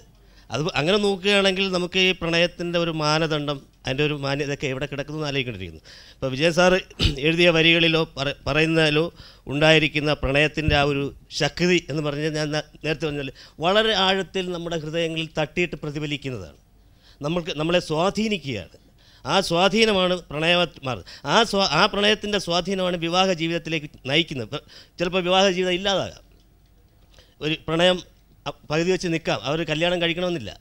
പക്ഷേ നമ്മൾ ഈ പ്രണയത്തെക്കുറിച്ച് ചിന്തിക്കുമ്പോൾ ഒരു പ്രായത്തിൽ മാത്രം ഉണ്ടാകുന്ന ഒരു ഒരു ചെറുപ്പക്കാരുടെ ഇടയിൽ മാത്രം ഉണ്ടാകുന്ന ഒരു അവസ്ഥയെക്കുറിച്ച് കൂടുതൽ ചർച്ച ചെയ്തു പോവുകയാണ്. പക്ഷേ ജീവിതകാലം മുഴുക്ക പ്രണയിക്കാൻ കഴിയും ഭാര്യ ഭർത്താക്കന്മാരായാലും പ്രണയിക്കാൻ കഴിയുന്നു. പക്ഷേ ചിലയിടത്ത് ഈ പറഞ്ഞ പോലെ കല്യാണം കഴിയുന്നതോട് വിവാഹം കഴിയുന്നതോടുകൂടി പ്രണയം ആദ്യത്തെ ആ പ്രണയത്തിന്റെ പ്യൂരിറ്റി നഷ്ടപ്പെടുന്നു. പിന്നെ അതിനൊരു ആ- അവസ്ഥയിൽ അവസ്ഥയെ നമുക്ക് എങ്ങനെ എന്ത് വിളിക്കാൻ കഴിയും? ശ്രീ ജയചന്ദ്രൻ ചേട്ടിലേക്ക് വരാം. ഇങ്ങനൊരു അവസ്ഥ സംജാതമായാൽ ഒരു പ്രണയം പരാജയപ്പെടുന്നു. ആ പരാജയപ്പെടുന്ന പ്രണയം പുതിയൊരു പ്രണയത്തിന് വഴി തുറക്കുന്നു എന്നൊരു സാഹചര്യം വന്നാൽ അതിനെ ന്യായീകരിക്കാൻ പറ്റുമോ? ശ്രീ ജയചന്ദ്രൻ അനുഭവത്തിന്റെ വെളിച്ചത്തിൽ എന്ന് പറഞ്ഞാൽ. തീർച്ചയായിട്ടും എനിക്ക് അങ്ങനെയുള്ള ഒരു എക്സ്പീരിയൻസ് ഇല്ലാത്തതുകൊണ്ട് എനിക്കിപ്പോൾ അത് കൂടുതലായിട്ട് പറയാൻ പറ്റില്ല. പക്ഷേ ഓർമ്മയ്ക്കായി എന്നുള്ള ആൽബമായിട്ട് ബേസ് ചെയ്ത് എനിക്ക് പറയാൻ പറ്റും. ഓർമ്മയ്ക്കായി എന്നുള്ള ആൽബത്തിൽ സംഗീതം ചെയ്യുമ്പോൾ ഓർമ്മയ്ക്കായി ഇനിയൊരു സ്നേഹഗീതം. ആദ്യമായി പാടുമെൻ ആത്മഗീതം. നിനക്കായി കരുതിയൊരു ഇഷ്ടഗീതം ഇങ്ങനെ പറയുന്നു. അപ്പോൾ എനിക്ക് അതിനകത്ത് എന്തോ ഒരു ആത്മാ അംശമുള്ളതായിട്ട് തോന്നി ആ ലിറിക്സിന് അപ്പോൾ തീർച്ചയായിട്ടും വിജയൻ സാറിന്റെ ജീവിതത്തിൽ അദ്ദേഹം കടന്നു വന്ന വഴികളിലുണ്ടായിട്ടുള്ള പ്രണയവും പിന്നെ സ്വന്തം എന്നുള്ള ചെയ്യുമ്പോഴത്തേക്കും അദ്ദേഹത്തിന് ആ പ്രണയത്തിന്റെ ആ ആ നഷ്ടപ്പെട്ടു പോയ ഏതോ പ്രണയത്തിന്റെ വേദന അത് ഓർമ്മയ്ക്കായാലൂടെ തീരുകയും പിന്നെ അദ്ദേഹം മുന്നോട്ട് നോക്കിയപ്പോൾ ഏതോ ഒരു പുതിയ വെളിച്ചം അദ്ദേഹം കണ്ടെത്തുകയും ആ വെളിച്ചത്തിലേക്ക് നീങ്ങിയപ്പോൾ അദ്ദേഹത്തിന് സാന്ത്വനം കിട്ടുകയും അതിൽ നിന്ന് ഉരുത്തിരിഞ്ഞ അദ്ദേഹത്തിന്റെ വികാരങ്ങൾ അദ്ദേഹം അതിലും സ്വന്തം എന്നുള്ള ഏറ്റവും അധികം ആത്മാംശം ഉണ്ട് എനിക്ക് അതുപോലെ തന്നെ ഇപ്പോൾ ഇനിയെന്നും എന്നുള്ള നമ്മുടെ പുതിയ ആൽബത്തിലും ഈ ആത്മാംശം എപ്പോഴും നമ്മൾ സംഗീതത്തിലായാലും നമ്മുടെ എക്സ്പീരിയൻസസ് അത് സംഗീതമായിട്ട് കൺവേർട്ട് ചെയ്ത് വരുമ്പോഴാണ് ഏറ്റവും കൂടുതൽ ജനങ്ങൾ അത് അക്സെപ്റ്റ് ചെയ്യുന്നത്. അതുപോലെ വിജയൻ സാറിന്റെ ലിറിക്സും അതുപോലെ തന്നെ. അത് ഒരു പക്ഷേ ഏഹ്, കാവ്യ സമാഹാരത്തിന്റെ ഇതൊന്നും ആയിരിക്കില്ല. പക്ഷേ വളരെ ശുദ്ധമായ രീതിയിൽ അദ്ദേഹത്തിന്റെ മനസ്സിലുള്ള വികാരങ്ങൾ അദ്ദേഹം പ്രക പ്രകടമാക്കുകയും അത് വളരെ സിമ്പിളായിട്ടുള്ള മലയാളത്തിൽ അദ്ദേഹം എഴുതി ചേർക്കുകയും ചെയ്യുമ്പോൾ അതിന് പെട്ടെന്ന് സ്ട്രെയിറ്റ് ആയിട്ടുള്ള കമ്മ്യൂണിക്കേഷൻ ഉണ്ടാവുന്നതാണ് നമ്മൾ ഈ ചർച്ചയുടെ ഏറ്റവും പ്രധാനമായ ഒരു ഭാഗത്തേക്ക് പോകുന്നു. ടി ആ ഇടപെടാനുണ്ട്. പറഞ്ഞോളൂ. ഇവിടെ പറഞ്ഞു കേട്ട അഭിപ്രായം വെച്ച് ഒരു പ്രണയം കഴിഞ്ഞ ഉടനെ തന്നെ ആ ചാപ്റ്റർ ക്ലോസ് ചെയ്ത് നെക്സ്റ്റ് ഒരെണ്ണത്തിൽ കിടക്കുന്ന ഒരു ഫീലിംഗ് ആണ് തോന്നിയത്. പക്ഷേ അങ്ങനെയല്ല. മറവി എന്ന് പറയുന്ന ദൈവം മനുഷ്യന് തന്നിട്ടുള്ള ഏറ്റവും വലിയൊരു അനുഗ്രഹമാണ്. അപ്പം നമ്മൾ ഏറ്റവും കഠിനമായ ഒരു ദുഃഖത്തിലൂടെ കടന്നു പോകുമ്പോൾ നമ്മൾ വിചാരിക്കും ഇനി ഒരിക്കലും എനിക്കൊന്നും മോചനമില്ല. ഒരിക്കലും ഞാനിനി പഴയ രീതിയിൽ വരില്ല എന്നൊക്കെ നമ്മൾ വിചാരിക്കും. പക്ഷേ നാളുകൾ കഴിയുമ്പോൾ ഇന്റൻസിറ്റി കുറഞ്ഞു കുറഞ്ഞു വരും. അപ്പോൾ ഈ ഒരു പ്രണയം പരാജയപ്പെടുമ്പോൾ അപ്പോഴുള്ള അവസ്ഥ കുറേ നാൾ കഴിയുമ്പോൾ മാറും. അപ്പോൾ മാത്രമല്ല മനുഷ്യൻ എപ്പോഴും ഒരു തുണ അല്ലെങ്കിൽ ഒരു ഇണ ആവശ്യമാണ്. ആണിനൊരു പെണ്ണും പെണ്ണിനൊരാണും ആ മനുഷ്യ മനസ്സ് എപ്പോഴും ഒരു കൂട്ട് തേടിക്കൊണ്ടിരിക്കുകയാണ്. അപ്പോൾ ആ ഒരു ഇന്റൻസിറ്റി എല്ലാം കുറഞ്ഞ് പുതിയൊരു സാഹചര്യം വരുമ്പോൾ ഒരു പ്രണയം വന്നേക്കാം. പക്ഷേ അത് ഒരു പ്രണയം കഴിഞ്ഞ് അടുത്ത പ്രണയം അടുത്ത പ്രണയം കഴിഞ്ഞ ആ ഒരു രീതിയല്ല. അപ്പോൾ പുതിയൊന്ന് പ്രണയിക്കുന്നതുകൊണ്ട് തെറ്റില്ല ശരിക്കും. ആ സാഹചര്യങ്ങളാണ് മനുഷ്യനെ ആ രീതിയിൽ എത്തിക്കുന്നത്. ഇവിടെയാണ് ഓർമ്മയ്ക്കായി എന്ന കാസറ്റിന്റെ പ്രസക്തിയും ഉണ്ടാകുന്നത്. ഓർമ്മയ്ക്കായി എന്ന കാസറ്റിനു ശേഷം സ്വന്തം എന്ന ആൽബത്തിലേക്ക് ഈസ്റ്റ് കോസ്റ്റ് കടക്കുമ്പോൾ കടക്കുമ്പോൾ അതിന് പിന്നിൽ പ്രവർത്തിച്ച ചേതു വികാരം ആദ്യ പ്രണയത്തിന്റെ പരാജയത്തിൽ നിന്നുൾക്കൊണ്ട് ആ ചൂടും ആ ഊർജവും പാകപ്പിഴകളെ മനസ്സിലാക്കാനുള്ള ബോധവും രണ്ടാമത്തെ പ്രണയം അനശ്വരമാക്കുന്നു എന്നതാണ്. സ്വന്തത്തിലേക്ക് കടക്കും മുമ്പ് ഈ നാല് ആൽബങ്ങളിലും വിമർശകരും ധാരാളമായി ഉണ്ടായിട്ടുണ്ട്. ഏറ്റവും കടുത്ത വിമർശനങ്ങൾ പലപ്പോഴും ഉന്നയിക്കുന്നത് മലയാള ചലച്ചിത്ര ഗാനശാഖയിൽ തന്നെ നിരൂപണ വിദഗ്ധനായ ശ്രീ ടി പി ആണ്. ടി പി നമുക്കൊപ്പമുണ്ട്. ടി പി പറയൂ ഈ ആൽബങ്ങൾക്ക് നേരിട്ട പ്രശ്നങ്ങൾ എന്താണ് അങ്ങയുടെ കാഴ്ചപ്പാടിലുള്ള വിമർശനങ്ങൾ. വിമർശനമായിട്ടല്ല. ഈ കാസറ്റിലെ ഈ മൂന്ന് നാല് കാസറ്റുകളുടെയും പാട്ടുകൾക്ക് ഈ പ്രണയത്തിന്റെ പ്രണയഭംഗത്തിന്റെ ഒരു അടിയൊഴുക്കുണ്ട്. ലോകത്തേത് പിന്നെ പ്രണയഗാനങ്ങളുടെ അവസ്ഥ എടുത്താലും നമ്മൾ കൂടുതൽ ആസ്വദിക്കുന്നത് പ്രണയഭംഗ ഗാനങ്ങളാണ്. പ്രണയഭംഗ സാഹിത്യമാണ്. ഇപ്പോൾ മലയാള സിനിമയിൽ പോലും എനിക്ക് തോന്നുന്നത് പ്രണയഗാനങ്ങളെക്കാളേറെ പ്രണയ പിന്നെ ഭംഗം നേരിട്ട് എഴുതിയ പാട്ടുകളാണ് വിജയിച്ചിട്ടുള്ളത്. ഈസ്റ്റ് കോസ്റ്റ് വിജയന്റെ ഈ ആൽബങ്ങളിലും പൊതുവെ പ്രണയഭംഗത്തിന്റെ മനോഹാരിതയാണുള്ളത് എന്നാണ് പറയുന്നത്. തീർച്ചയായിട്ടും. അതായത് അതിന്റെ ഒരു അടിയൊഴുക്ക്. അതായത് ഏത് പ്രണയത്തിന്റെ പിന്നിലും ഒരു ഒരു ചൊല്ല് തന്നെയുണ്ട്. കണ്ണീരണിഞ്ഞ പ്രേമം കൺകവരും എന്ന്. ആ ചൊല്ല് യാഥാർത്ഥ്യമാക്കിയിരിക്കുന്നു ഈ കാസറ്റുകളിൽ നിന്നാണ് എനിക്ക് തോന്നിയിട്ടുള്ളത്. കാരണം അങ്ങനെയുള്ള കാസറ്റുകൾക്ക് മാത്രമേ അങ്ങനെയുള്ള പാട്ടുകൾക്ക് മാത്രമേ നിലനിൽപ്പുണ്ടാവൂ. ഇപ്പോൾ പിന്നെ താമസം എന്തേ വരുവാനെന്ന് പറയുന്നത് പിന്നെ തോഴി അടുത്തില്ല. താമസം എന്തേ? വരുവാനെന്ന് ചോദിക്കുന്നത് കൊണ്ടാണ്. ആ അകൽച്ചയാണ് അവിടെ സൗന്ദര്യം സൃഷ്ടിക്കുന്നത്. ഈ വരികളെ കുറിച്ച് പറഞ്ഞാൽ വരികളിൽ എന്തെങ്കിലും അപാകതകൾ ഉള്ളതായി തോന്നി വരികളിൽ പിന്നെ അങ്ങിങ്ങ് ചില അപാകതകൾ ഉണ്ട് അതിനെപ്പറ്റി എഴുതുകയും ചെയ്തിട്ടുണ്ട്. എന്നല്ലാതെ പൊതുവെ അതായത് ഇപ്പോൾ ചന്ദ്രനിലെ കളങ്കം മാതിരി നമുക്കത് പിന്നെ ഇഗ്നോർ ചെയ്യാം. പിന്നെ വിസ്മരിക്കാവുന്നതേ ഉള്ളൂ. ചന്ദ്രന്റെ ഭംഗിയാണ് നമ്മൾ ആസ്വദിക്കുന്നത്. അതിനകത്ത് ചില കളങ്കങ്ങളുണ്ടെങ്കിൽ പോലും ചന്ദ്രന്റെ മനോഹാരിതയാണ് നമ്മൾ ആസ്വദിക്കുന്നത്. ടി പി എ പോലെ ഒരു സിനിമാ നിരൂപകന്റെ അല്ലെങ്കിൽ സിനിമാ ഗാന നിരൂപകനിൽ നിന്നും ഇത്തരത്തിലൊരു സർട്ടിഫിക്കറ്റ് കിട്ടുന്നതാവാം. ഒരുപക്ഷെ ഈസ്റ്റ് കോസ്റ്റ് വിജയനെ പോലുള്ള ഒരു വ്യക്തിക്ക് അല്ലെങ്കിൽ ഒരു രചയിതാവിനെ സംബന്ധിച്ച് ഏറ്റവും വലിയ മൂല്യം എന്ന് പറയുന്നത്. ഇങ്ങനൊരു സർട്ടിഫിക്കറ്റ് ടി പി ഒരു തുറന്ന വേദിയിൽ നൽകിയിരിക്കുന്നു. പക്ഷേ എനിക്കൊരു സംശയം. പ്രേക്ഷകരുടെ സംശയമായി ചോദിക്കട്ടെ. പലരും ചോദിച്ചു കേട്ടു ഈസ്റ്റ് കോസ്റ്റ് വിജയന് ഇത്തരത്തിൽ ഹൃദയത്തിൽ തട്ടുന്ന ഗാനങ്ങൾ എഴുതാനുള്ള കഴിവുണ്ടോ എന്ന്? ഈ രചന അങ്ങയുടേതാണോ എന്ന്? അങ്ങനെ ആരെങ്കിലും വിശ്വസിക്കുന്നുണ്ടെങ്കിൽ എനിക്ക് അവരോട് അങ്ങനെ അത് തന്നെയാണ് എന്റെ ഏറ്റവും വലിയ എനിക്ക് അഭിമാനമായിട്ട് തോന്നുന്നത്. കാരണം ഞാനൊരു സാധാരണ മനുഷ്യനാണ്. അതായത് ഇപ്പോൾ ഈ എഴുതുന്ന ആരെ പോലെയും ഈ മജ്ജയും മാംസവും ബുദ്ധിയും ഇതൊക്കെയുള്ള ഒരാളാകാമല്ലോ എനിക്കും. പക്ഷേ അങ്ങനെ ഒരാളിന് അപ്പുറത്താണ് ഇതെന്ന് ആരെങ്കിലും ധരിക്കുന്നുണ്ടെങ്കിൽ അത് തന്നെയാണ് എന്റെ ഏറ്റവും വലിയ അഭിമാനം. കാരണം ഞാൻ അതിലും അപ്പുറത്താണല്ലോ എന്ന ആൾക്കാർ ധരിക്കുന്നുണ്ടല്ലോ ഇന്ന് സ്വന്തവും ഓർമ്മയ്ക്കയക്കും ശേഷം ബാക്കി എന്ത് ഇനി എന്ത് എന്നൊരു ചോദ്യം ഉയരുന്നു. ഇവിടെയാണ് ഇനി എന്നും എന്ന ഈസ്റ്റ് കോസ്റ്റിന്റെ അഞ്ചാമത്തെ പ്രണയ ആൽബത്തിന്റെ പ്രസക്തി. ഈ ആൽബം എന്താണ് ഇനി ശ്രോതാക്കൾക്ക് സമ്മാനിക്കാനുള്ളത്? സംഗീത സംവിധായകനോട് ചോദിച്ചുകൊണ്ട് തന്നെ ഈ ചർച്ചയുടെ അവസാന ഭാഗത്തിലേക്ക് കടക്കാം. ശ്രീ ജയചന്ദ്രൻ ഈ ഒരു കാസറ്റിനെ കുറിച്ചുള്ള അങ്ങയുടെ പ്രതീക്ഷ എന്താണ് ഇനിയെന്നും എന്ന് പറയുന്നത് ഈ കവിയുടെ പുതിയ വഴിയിലൂടെയുള്ള ഈ യാനത്തിൽ ഈ പ്രണയത്തിന്റെ മനോഹരങ്ങളായ നിമിഷങ്ങളാണ്. ഞാൻ ഇന്നലെ പറഞ്ഞു ഇത് മധു വിധു ഗാനങ്ങളാണ്. അത് മധുവും വിധുവും പാടിയതുകൊണ്ടല്ല. അത് ഒരുപക്ഷെ നമുക്കെല്ലാം മനസ്സിന് കുളിർമ തരുന്ന രീതിയിലുള്ള ലിറിക്കൽ ബ്യൂട്ടി ഈ പാട്ടുകൾക്കുണ്ട്. എനിക്കെപ്പോഴും ഞാൻ മലയാള സിനിമയിൽ ഞാൻ എന്നും ഞാൻ കാലുതൊട്ട് വണങ്ങുന്ന എഴുത്തുകാരൻ പാട്ടെഴുത്തുകാരൻ ശ്രീ പി ഭാസ്കർ അദ്ദേഹത്തിന്റെ ഗാനങ്ങൾക്ക് മലയാളത്തിന്റെ നമ്മുടെ മണ്ണിന്റെ മണമുണ്ടായിരുന്നു. അപ്പോൾ വിജയൻ സാറിന്റെ ലിറിക്സ് ഇങ്ങനെ ഞാൻ ശ്രദ്ധിക്കുമ്പോൾ ശരിക്കും പറഞ്ഞാൽ പി ഭാസ്കരൻ സാറിന്റെ ശിഷ്യനാണോ അദ്ദേഹം എന്ന് ഞാൻ ചിലപ്പോൾ ഓർത്തു പോകും. കാരണം വളരെ വളരെ നമുക്ക് പെട്ടെന്ന് മനസ്സിൽ ടച്ച് ചെയ്യുന്ന കഴിഞ്ഞ ഒരു പ്രണയത്തെ പറ്റിയും ഇതിനകത്ത് പറയുന്നുണ്ട്. ആരോ സ്നേഹം അന്ന് പങ്കിട്ടിരുന്നിരിക്കാം. ആരോ എന്നെ സ്നേഹിച്ചിരുന്നിരിക്കാം. അല്ലേ?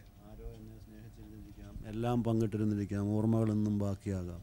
എങ്കിലും ഇന്നിനി എല്ലാം എല്ലാം നീ എന്ന വർണ വസന്തം എങ്കിലും ഇനിയും നീ തന്നെയാണ് എന്റെ വർണവസന്തം എന്ന് പറയുന്നത്.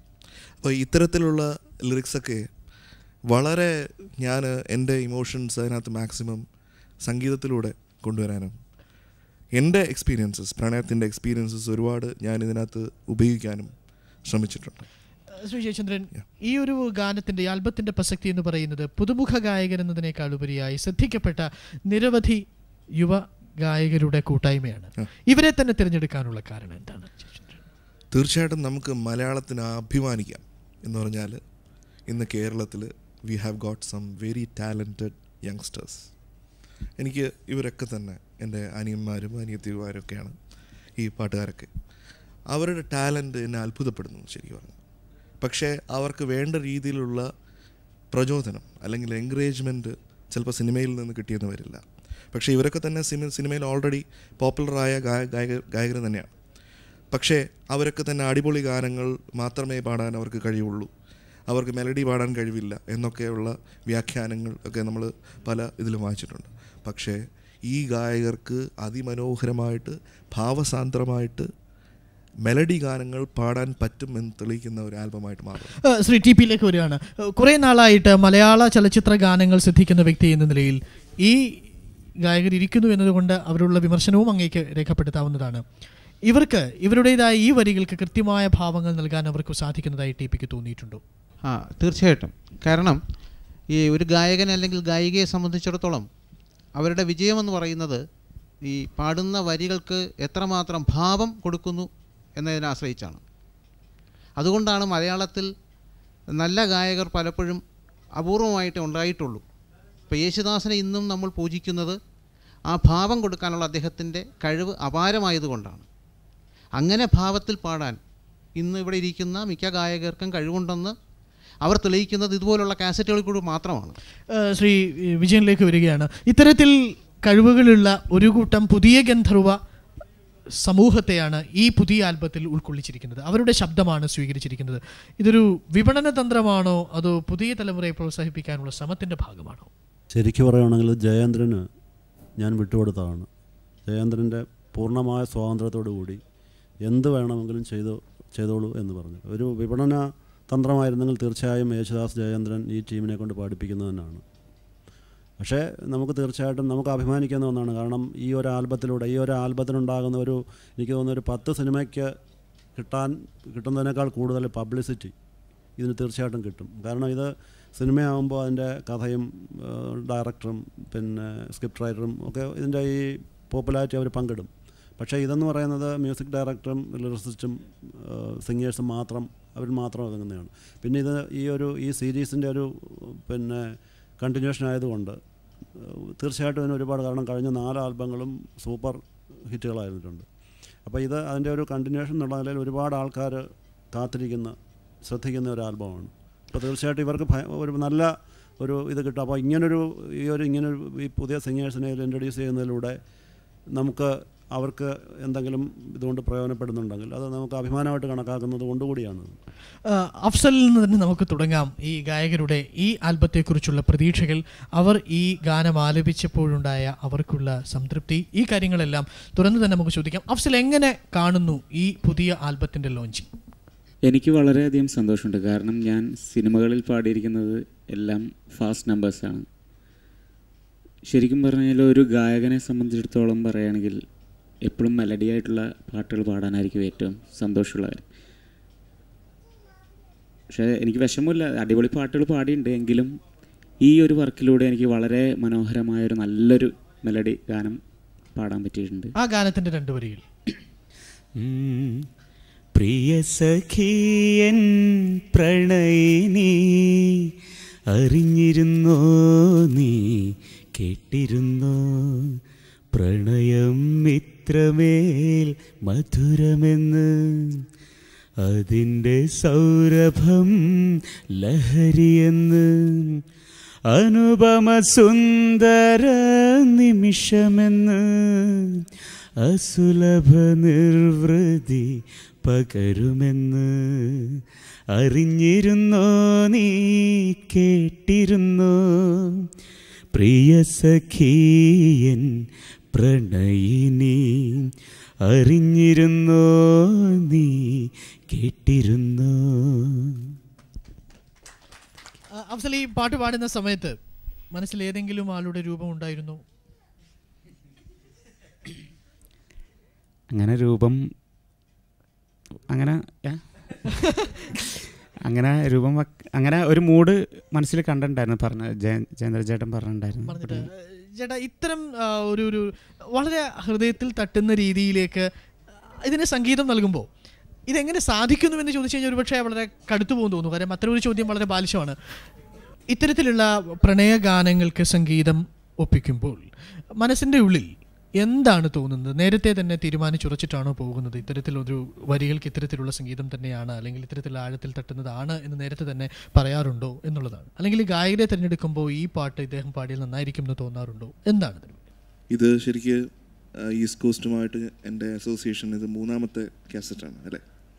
അപ്പോൾ ഇത് ഇത് ഇതിലൂടെ തന്നെ ഇരുപത്തഞ്ച് ഗാനങ്ങൾ ഇരുപത്തഞ്ച് റൊമാന്റിക് സോങ്സ് എനിക്ക് ചെയ്യാനുള്ള ഭാഗ്യം ഉണ്ടായിട്ടുണ്ട് ഈ കാസറ്റ്സിലൂടെ. അപ്പോൾ ശരിക്ക് ഇതിലൊരു ഗാനം ഒന്നോ രണ്ടോ ഗാനങ്ങൾ മാത്രമേ ട്യൂൺ ഇട്ടിട്ട് എഴുതിയിട്ടുള്ളൂ. ബാക്കി എല്ലാ ഗാനങ്ങളും അദ്ദേഹത്തിന്റെ ലിറിക്സിന് ഞാൻ സംഗീതം ഒരുക്കിയിട്ട് മാത്രമേ ഉള്ളൂ. അപ്പോൾ എനിക്ക് തോന്നുന്നത് എപ്പോഴും ഒരു നല്ല രചന ഒരു നല്ല ലിറിക്ക് എന്ന് പറയുന്നത് അതിനുള്ളിൽ എപ്പോഴും ഒരു സംഗീതം ഉണ്ടാവും. ആ സംഗീതം കണ്ടെടുക്കുക എന്നുള്ളത് മാത്രമേ ഒരു സംഗീത സംവിധാന ജോലിയുള്ളൂ. അപ്പോൾ എന്നെ സംബന്ധിച്ചിടത്തോളം ഇതിൽ ഒരുപാട് ഗാനങ്ങൾ ഇതിൽ നയന്റി പെർസെന്റ് സോങ്സും അത് വായിക്കുമ്പോൾ തന്നെ എന്റെ മനസ്സിൽ അതിനുള്ളിൽ കിടക്കുന്ന സംഗീതം കണ്ടെത്താൻ പറ്റി എന്നുള്ളത് മാത്രമാണ് ഞാൻ ചെയ്തിട്ടുള്ളത്. പ്രീജിച്ചിലേക്ക് വരുന്നു. ഇത്തരത്തിൽ സംഗീതം ചിട്ടപ്പെടുത്തുന്ന സമയങ്ങളിൽ മനസ്സിന് എന്തെങ്കിലും അഭിപ്രായങ്ങൾ ചോദിക്കുകയോ അല്ലെങ്കിൽ ഇത്തരത്തിലുള്ള ട്യൂണുകൾ ഇട്ടതിന് ശേഷം എന്തെങ്കിലും തരത്തിലുള്ള അഭിപ്രായങ്ങൾ ചോദിക്കുകയോ മറ്റോ ചെയ്യാറുണ്ടോ? എല്ലാ ട്യൂണ് ഇട്ട് കഴിയുമ്പോഴും വന്ന് കേൾപ്പിക്കാറുണ്ട് അഭിപ്രായം ചോദിക്കാറുണ്ട്. ഒരു സാധാരണ സ്ത്രീ എന്നുള്ള നിലയിൽ എനിക്ക് ഏറ്റവും സന്തോഷം ഈ പ്രണയഗാനങ്ങൾ ചെയ്യുമ്പോഴാണ് എന്നോട് വന്ന് പറയുന്നത്. നമ്മുടെ പ്രണയകാലങ്ങൾ കൂടുതൽ ഓർമ്മിച്ചിട്ടാണ് ഇത്തരത്തിൽ നല്ല പാട്ടുകൾ ഉണ്ടാക്കാൻ പറ്റുന്നത്. അതൊരു സാധാരണ സ്ത്രീ എന്നുള്ള രീതിയിൽ എനിക്ക് കേൾക്കുമ്പോൾ ഭയങ്കര സന്തോഷം ഉണ്ടാവാറുണ്ട്. പിന്നെ ഒരു സംഗീത സംവിധായകന്റെ ഭാര്യ എന്നുള്ള രീതിയിൽ ആളുകൾക്ക് ഏറ്റവും ഇഷ്ടപ്പെടുന്നത് നമ്മുടെ പണ്ട് മുതലേ ഉള്ള കാര്യം നോക്കുകയാണെങ്കിൽ പ്രണയ ഗാനങ്ങളാണ് ആളുകളുടെ മനസ്സിൽ തട്ടി നിൽക്കുന്നത്. അങ്ങനെ നോക്കുമ്പോൾ എന്റെ ഭർത്താവ് സംഗീത സംവിധായകൻ എന്നുള്ള നിലയിൽ നല്ല പാട്ടുകൾ ഉണ്ടാക്കാനുള്ള അവസരം കിട്ടുന്നു എന്നുള്ള ഒരു സന്തോഷം. ഒരുപക്ഷെ അത്തരത്തിൽ പ്രത്യേകിച്ച് പ്രണയഗാനങ്ങൾക്ക് സംഗീതം ചിട്ടപ്പെടുത്തുമ്പോൾ ഇത്തരം മനോഹരമായ രീതിയിൽ അദ്ദേഹത്തിന് അതിന് സാധിക്കുന്നത് അദ്ദേഹത്തിനുള്ളിൽ ഇപ്പോഴും ആ കാമുകൻ ഉള്ളത് കൊണ്ടാണോ പ്രിയ? ചിലപ്പോഴൊക്കെ എന്നോട് അങ്ങനെ പറയാറുണ്ട്. ഇപ്പോഴും ആ കാമുകൻ ഉണ്ടോ?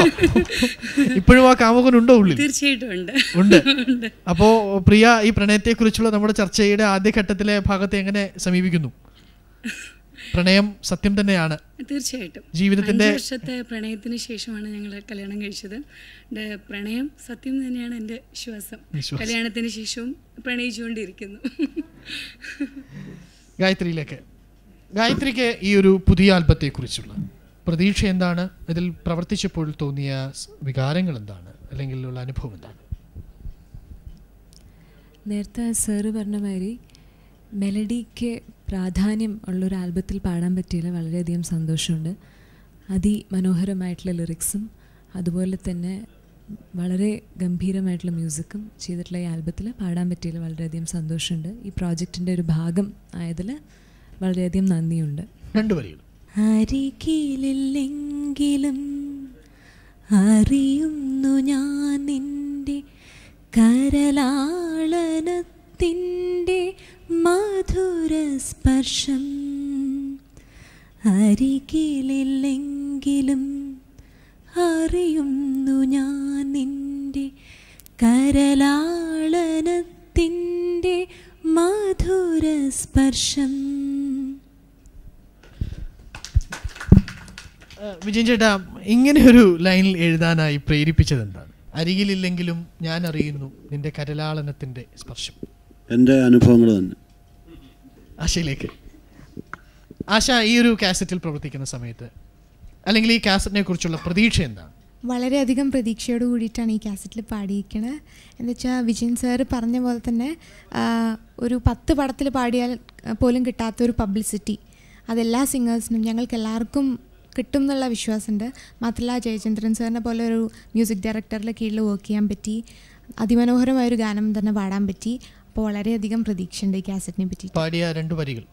ഓ ഞാൻ അഫ്സ അഫ്സലേക്ക് പാടി അതേ പാട്ട് തന്നെയാണ് പാടിയിരിക്കുന്നത് പ്രിയതമനേ സ്നേഹിതനേ അറിഞ്ഞിരുന്നോ നീ കേട്ടിരുന്നോ?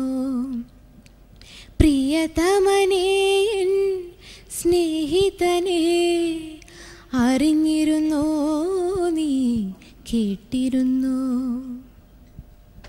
And there is another star from this team. There's nothing but Chinmay. Chinmay, how do you feel working with this team, especially with MJ Chandran and with Vijayan? Um, I must say here that I was introduced in Malayalam uh, by Mr. M. Jayachandran sir and uh, Vijayan sir. Um, I would feel utterly thankful to this because I have been singing maximum only melody songs, 99% as long as Tamil songs are concerned.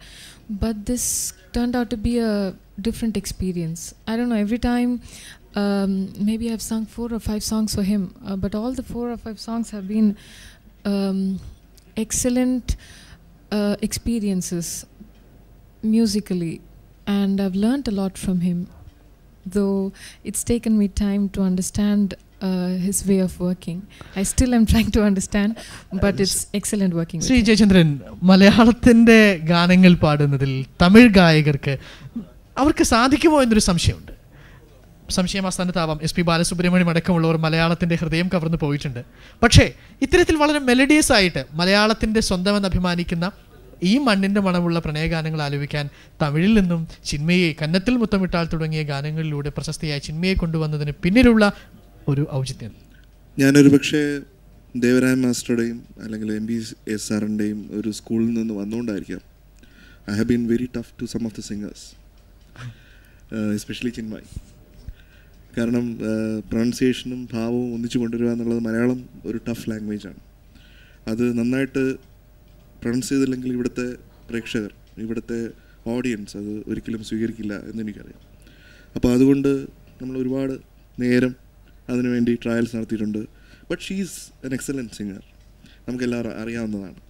അപ്പോൾ അതുകൊണ്ട് എനിക്ക് musically പ്രശ്നമൊന്നുമില്ല. പക്ഷേ lyrics വരുമ്പോൾ ലിറിക്സും മ്യൂസിക്കും കൂടെ ചേരുമ്പോൾ പ്രത്യേകിച്ച് മറുനാടൻ ഒരു ഗായ ഗായിക അല്ലെങ്കിൽ ഗായകൻ വരുമ്പോൾ നമുക്ക് സാധാരണ ഉണ്ടാകുന്ന പ്രശ്നമാണ്.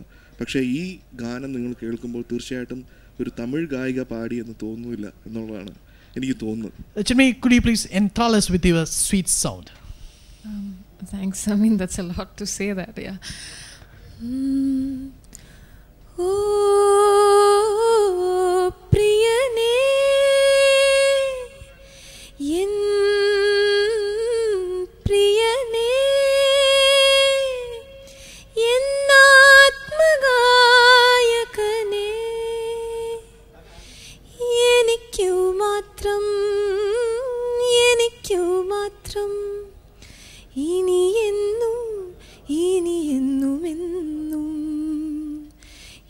ഗന്ധം നിന്നാശ്ലേഷം പരിലാളനം നിന്റെ ദിവ്യാനുരാഗ സുഖലാളനം. ഓ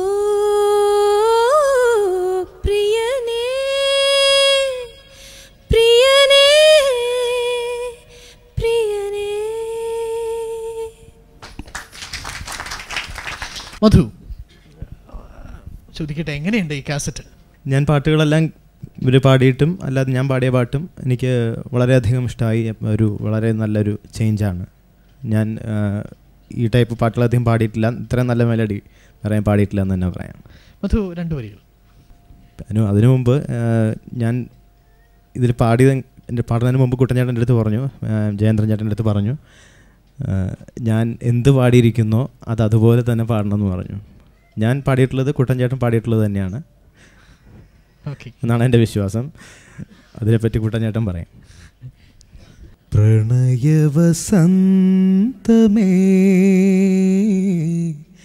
എന്നാത്മ ഹർഷമേ ഇനി എന്തു പാടണം ഞാൻ? ഉള്ളം തുറന്നെന്തു കാട്ടണം ഞാൻ. എന്റെ അനുരാഗം അറിയിക്കുവാൻ. എന്റെ സ്നേഹവാത്സല്യം. അറിയിക്കുവാൻ. ഹൃദയ ഇനിയെന്നും ഇനിയെന്നും ഇനിയെന്നുമെൻ. ഹൃദയവികാരങ്ങൾ. ഹൃദയവികാരങ്ങൾ അറിയിക്കുവാൻ. മധു ഈ പാട്ട് പാടുന്ന സമയത്ത് മനസ്സിലുണ്ടായിരുന്നത് ആരാണ്? ഈ പാട്ട് പാടിയപ്പോൾ ഞാൻ എന്റെ ഭാര്യ ദിവ്യയെ മനസ്സിലാലോചിച്ചു. ദിവ്യ ദിവ്യ തന്നെയാണ് വരുന്നത്. ദിവ്യക്ക് ഇതിലും വലിയൊരു കോംപ്ലിമെന്റ് കിട്ടാനില്ല. ദിവ്യയിലേക്ക് ചോദിക്കട്ടെ. മധു എങ്ങനെ? മധു ഒരു നല്ല കാമുകനാണ്? എന്നാണ് എന്റെ വിശ്വാസം. ആണല്ലേ? അല്ല ഈ പാട്ട് പാടിയത് ഒരു രാത്രി പന്ത്രണ്ട് മണിയായപ്പോൾ എന്നെ വിളിച്ച് കേൾപ്പിച്ച് തന്നിരുന്നു ഫോണിലൂടെ. അപ്പോൾ തന്നെ ഞാൻ പറഞ്ഞിരുന്നു വളരെ രാത്രി രാത്രി പന്ത്രണ്ട് മണി എന്ന് പറയാൻ കാരണം രാത്രി പന്ത്രണ്ട് മണിക്കാണ് ഞാൻ പാടിയത് അതുകൊണ്ടാണ്. ദിവ്യ മധുവിന്റെ ഈ പ്രണയഗാനങ്ങൾക്ക് ഒരു പ്രത്യേകത ഉള്ളതായി തോന്നാറില്ലേ? തീർച്ചയായിട്ടും ഗന്ധർവ തോന്നാറുണ്ട്. സ്വരം ഗന്ധർവ സ്വരം തന്നെയല്ലേ മധുവിന്റെത് എന്ന് തോന്നാറില്ലേ എന്നാണ് ചോദിക്കുക വിമർശനം ഉണ്ടെങ്കിൽ കൃത്യമായി പറഞ്ഞോളൂ. അതിന് ഞാനല്ല ഉത്തരം പറയേണ്ടത്. ഉത്തരം പറയേണ്ടത്. അഹങ്കാരം ഉണ്ടെന്ന് വിചാരിക്കില്ല പറഞ്ഞു. എനിക്ക് ഏറ്റവും ഇഷ്ടമുള്ള സ്വരമാണ്. ദിവ്യക്കെന്ന് പറയുമ്പോൾ ഒരു ചെറിയ നാണം വരുന്നുണ്ടല്ലോ. എന്ത് പറ്റി? ദിവ്യ ധൈര്യമായി പറഞ്ഞോളൂ. You are authorized person of Madhu ധൈര്യമായി പറഞ്ഞോളൂ. എങ്ങനെ? മധുവിന്റെ ഇതുവരെയുള്ള ഈ ഇത് നോക്കിക്കഴിഞ്ഞാൽ ഈ ഒരു കാസറ്റ് ഹിറ്റ് ആവാനുള്ള സാധ്യതയുണ്ടോ ദിവ്യ? തീർച്ചയായിട്ടും ഉണ്ട്. ഇത്രയും നല്ലൊരു മെലഡി മധുചേട്ടൻ പാടുന്നത് കാസറ്റിൽ ഞാൻ വേറെ പ്രണയഗാനങ്ങളിലൊക്കെ കേട്ടിട്ടുണ്ട്. പക്ഷേ എന്നാലും ഇത്രയും നല്ലൊരു മെലഡി കേട്ടിട്ടില്ല. ഒരു ചോദ്യം കൂടി. മധു ഇത്ര വളരെ ഹൃദയത്തിൽ തട്ടുന്ന വിധത്തിൽ പാടി നല്ല വരികൾ ഈ കാസറ്റ് സൂപ്പർ ഹിറ്റായി സൂപ്പർ ഹിറ്റ് ആയതിനു ശേഷം ഏതെങ്കിലും ഒരു പെൺകുട്ടി മധുവിനെ അങ്ങ് ഇഷ്ടപ്പെട്ടു പോയ എന്ത് ചെയ്യും? അതെനിക്ക് ആലോചിക്കാൻ കൂടി വയ്യ. വയ്യ. അത്രയ്ക്ക് ഇഷ്ടമാണ് അത്രയ്ക്ക് ഇഷ്ടം. Shri Karthik, there is another breed of person from Tamil Nadu to enthrall the Kerala's uh, listeners of music, and that's Karthik. Very famous, boys fame. Could you please sing that song? Sure. Yeah. பால் போலே பதினாறில் எனக்கொரு girl friend வேணும் இன்று புதிதாக விழுந்த மலர் போல എനിക്കൊരു girlfriend വേണം യെസ് ജയ്സൻ ചേട്ടാ കാർത്തികിനെ ഈ ഒരു കാസറ്റിലേക്ക് ക്ഷണിക്കുമ്പോൾ ഒരു ആത്മവിശ്വാസം മനസ്സിലുണ്ടായിരുന്നു. കാർത്തികിന് ഇത്ര മനോഹരമായി ഇത് ചെയ്യാൻ പറ്റുമെന്നൊരു ആത്മവിശ്വാസം ഉണ്ടായിരുന്നു. Karthik I think he's one of the greatest singers of contemporary film singing എന്നെ സംബന്ധിച്ചിടത്തോളം ഞാൻ എനിക്ക് അദ്ദേഹം എന്നെക്കാളും വയസ്സ് വളരെ കുറവാണെങ്കിലും അദ്ദേഹത്തിനൂടെ വർക്ക് ചെയ്യാൻ സാധിച്ചത് ഞാൻ ഞാൻ എത്രത്തോളം ഫോർച്ചുനേറ്റ് ആണെന്ന് ഞാൻ വിചാരിക്കും അത്രത്തോളം സ്റ്റാൻഡേർഡ് ഉണ്ട് അദ്ദേഹത്തിന്റെ പാട്ടിന്. അപ്പോൾ അദ്ദേഹത്തിന്റെ ഈ ഗാനം മാത്രമല്ല ഒരുപാട് ഗാനങ്ങൾ ഞാൻ കേട്ടിട്ടുണ്ട്. അകലെ എന്ന ആൽബത്തിന് വേണ്ടിയിട്ട് സിനിമയ്ക്ക് വേണ്ടിയിട്ട് അദ്ദേഹം പാടിയ പാട്ട് ഓൾറെഡി വളരെ ഹിറ്റായിട്ട്. വന്നിട്ടുണ്ട്. ഇപ്പോൾ വിനയൻ സാറിന്റെ പുതിയ ഫിലിമിൽ അദ്ദേഹം ഒരു ഗാനം വളരെ അതീവ സുന്ദരമായിട്ട് ആലപിച്ചിട്ടുണ്ട്. അപ്പോൾ ഇതിൽ വന്നപ്പോൾ ഞാൻ സാറിനോട് പറഞ്ഞു കാർത്തിക്കിനെ കൊണ്ട് ഒരു പാട്ട് പാടിക്കണം. അപ്പോൾ സാറ് ഒന്നിലും അങ്ങനെ ഇടപെട കൂടുതൽ കൈകടത്തിൽ ഒരിക്കലും ഉണ്ടായിട്ടില്ല സാറിന്റെ ഭാഗത്ത് നിന്ന്. അപ്പോൾ സാർ പറഞ്ഞു ശരി ആയിക്കോട്ടെ കാർത്തിക്കിനെ പാടി. അങ്ങനെ കാർത്തിക് പാടി വളരെ നന്നായിട്ട് പാടി അല്ലേ? പൊന്നല്ലേ. പൊന്നല്ലേ നീ എൻ പൊന്നിൻ കുടമല്ലേ. തങ്കമല്ലേ നീ എൻ തങ്ക കൊലുസല്ലേ പിണങ്ങാതിരുന്നാൽ പാർവണ ശശിലേഖ പോലൊരു സുന്ദരി ശില്പമല്ലേ. നീ അപ്സര രാജകുമാരിയല്ലേ പൊന്നല്ലേ നീ എൻ പൊന്നിൻ കുടമല്ലേ. തങ്കമല്ലേ നീ എൻ തങ്ക കൊലുസല്ലേ Karthik do you know the meaning of the words Yeah, I learned. Uh, yeah, I, I did. I did get the meaning for this song. I did. Yeah. Then how do you feel this? Wonderful. He just briefed me on what he wanted. ആദ്യം. പാടിക്കൊണ്ടിരുന്നത് പൊന്നല്ലേ എന്നാണ് പാടിക്കൊണ്ടിരുന്നത് അപ്പൊ ഞാൻ പറഞ്ഞ പൊന്നല്ല പൊന്ന് that means സ്വർണം സ്വർണമല്ലേ നീ എന്റെ സ്വർണമല്ലേ. പൊന്നല്ലേ നീ എൻ പൊന്നിൻ കുടമല്ലേ yes and beautifully Before every song, I, I have a nice drilling session with him for half an hour and he, makes sure all the words are right. You, you got the full meaning and the good f- feeling of that. I did, of course I did, yeah. Then how do you feel the cassette? Will it be a good success or will it be a hit in the market? I, I have no idea, but uh, I'm here today because of him. So I, I owe it to him. I thank God. I thank him for having the confidence in me because I'm not familiar with Malayalam, and uh, uh, I, I've sung a lot in Tamil and in a lot in Telugu. I've sung a bit in Hindi and Kannadam.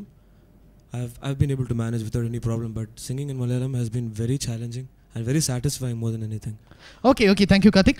Um, Tippi, തമിഴിൽ നിന്നൊരു ഗായകൻ ഇത്ര മനോഹരമായി നമ്മുടെ ഈ മലയാളത്തിൽ വന്ന് വളരെ മെലഡീസ് ആയിട്ടുള്ള ഈ ഒരു പ്രണയഗാനം ആലപിച്ചിരിക്കുന്നു എന്ത് തോന്നുന്നു ഇതിനെക്കുറിച്ച് വളരെ സന്തോഷം തോന്നും മാത്രമല്ല ഈ രണ്ടുപേരും കാർത്തികിനെ മാത്രമല്ല ചിന്മയും പാടിയ പാട്ട് നമുക്ക് കേട്ട് കഴിഞ്ഞു വളരെ അത്ഭുതം തോന്നുന്നു. കാരണം മലയാളത്തിന്റെ ആ പ്രൊനൗൺസിയേഷൻ ഇത്രയും നന്നായിട്ട് അത് നേരത്തെ ജയചന്ദ്രൻ പറഞ്ഞല്ലോ പാട്ട് കേട്ട് കഴിഞ്ഞാൽ സിനിമയെക്കുറിച്ച് നമുക്ക് ബഹുമാനം തോന്നുമെന്ന്. തീർച്ചയായിട്ടും അത് പറഞ്ഞത് അക്ഷരം പ്രതി ശരിയാണെന്ന് ഈ രണ്ട് ഗായകരും തെളിയിച്ചിരിക്കുന്നു. ഓക്കെ. ജോത്സന ഈ ഒരു കാസറ്റിന്റെ ഈ ഒരു ടീമിൽ വർക്ക് ചെയ്യുമ്പോൾ എന്ത് തോന്നിയിരുന്നു?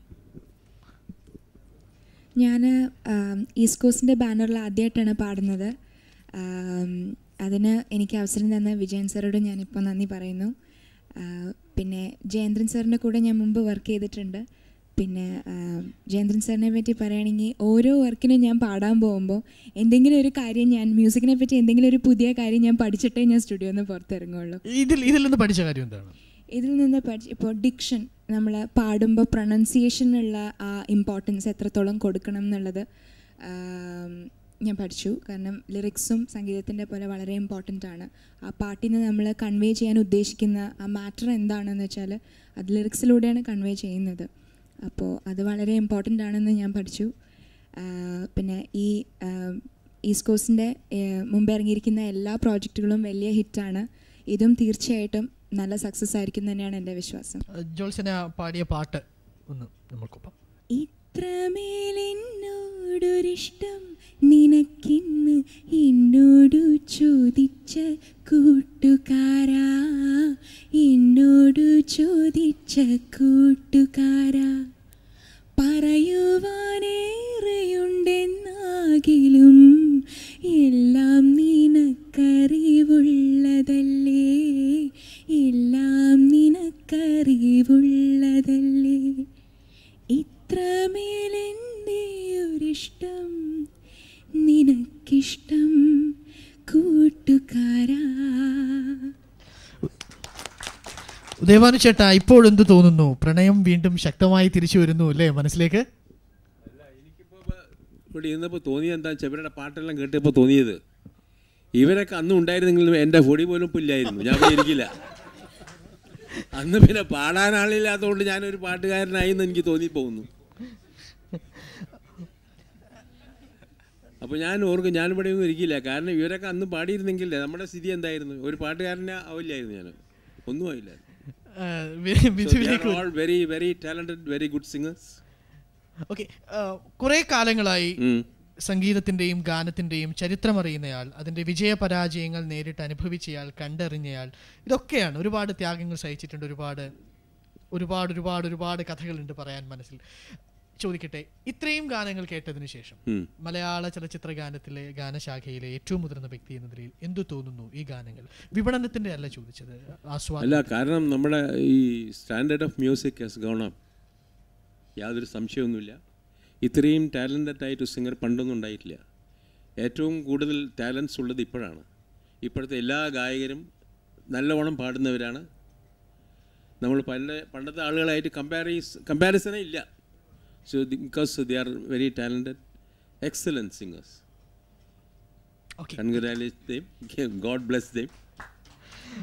Madhu Vidhu ഗാനമാണ് ഇനിയെന്നും എന്ന് ജയചന്ദ്രൻ സാർ തന്നെ പറഞ്ഞു കഴിഞ്ഞു വിധുവിന്റെ വിധുവിന്റെ ഊഴമാണ് അടുത്തത് വിധു എന്തു തോന്നുന്നു ഈ കാസറ്റ് ഈ കാസറ്റ് തീർച്ചയായിട്ടും നന്നായിട്ട് വിറ്റഴിയും എന്ന് തോന്നുന്നു കാരണം ഞാൻ എല്ലാ പാട്ടുകളും കേട്ടു എന്റെ പാട്ട് എങ്ങനെയുണ്ടെന്നുള്ളത് അത് ജയചന്ദ്രൻ ചേട്ടനാണ് പറയേണ്ടത് ബാക്കി എല്ലാവരും വളരെ നന്നായിട്ട് പാടിയിട്ടുണ്ട്. വളരെ എന്താണ് ഞാൻ ഫിലിംസിൽ തന്നെ കുറച്ച് ഫിലിംസ് ഞാൻ കുട്ടിച്ചേട്ടനോട് വർക്ക് ചെയ്തിട്ടുണ്ട്. പക്ഷേ എനിക്ക് ഞാൻ പഠിക്ക ഞാനൊരു പഠിച്ച കാര്യം എന്താണെന്ന് വെച്ചാൽ ഏറ്റവും കൂടുതൽ ഇമ്പോർട്ടൻസ് കൊടുക്കുന്നത് ജയചന്ദ്രൻ സാറിന്റെ പാട്ടുകളിൽ ഫീലിനാണ്.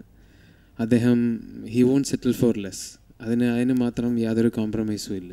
കാരണം എപ്പോഴും ഫീലിന് എപ്പോഴും മുൻതൂക്കം കൊടുത്തുകൊണ്ടാണ് ഞാനിപ്പോൾ അദ്ദേഹത്തിന് തന്നെ ഡിഫറെന്റ് ഫീലുള്ള പാട്ടുകൾ ഫിലിംസിൽ പാടിയിട്ടുണ്ട്. പക്ഷേ എപ്പോഴും ആ ഫീലും ശ്രദ്ധിക്കണം. പിന്നെ അക്ഷരസ്ഫുടത എപ്പോഴും ഒരുപാട് മുൻതൂക്കം കൊടുക്കുന്ന രണ്ട് കാര്യങ്ങളാണ് അദ്ദേഹം. ഈ ആൽബത്തിൽ പാടിയ പാട്ട്. ഞാനറിയാതെ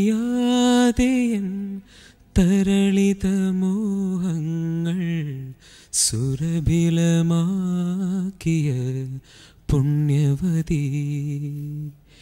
ഞാനറിയാതെ എൻ തരളിത മോഹങ്ങൾ സുരഭിലമാക്കിയ പുണ്യവതി.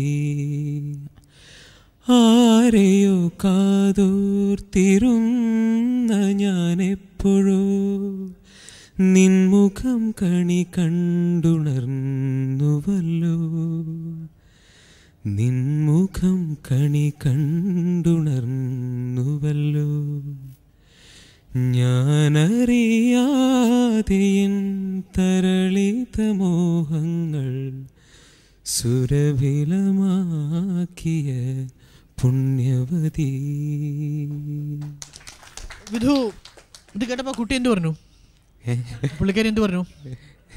ഏത് കുട്ടി? നന്നായിരുന്നു എന്ന് പറഞ്ഞോ? ഏത് കുട്ടി? നന്നായിരുന്നു എന്ന് പറഞ്ഞു അല്ലേ? ഏത് കുട്ടി? എത്ര നന്നായിരുന്നു എന്ന് ചോദിച്ചു. വീട്ടിൽ കേൾക്കും. ഏ? വീട്ടിൽ കാണും. ആണോ? അദ്ദേഹം വീട്ടിലുണ്ടോ? പറഞ്ഞോളൂ ധൈര്യമായി പറഞ്ഞോളൂ? ആ കുട്ടിക്ക് ഇഷ്ടായില്ല പാട്ട്? ഏത് കുട്ടി.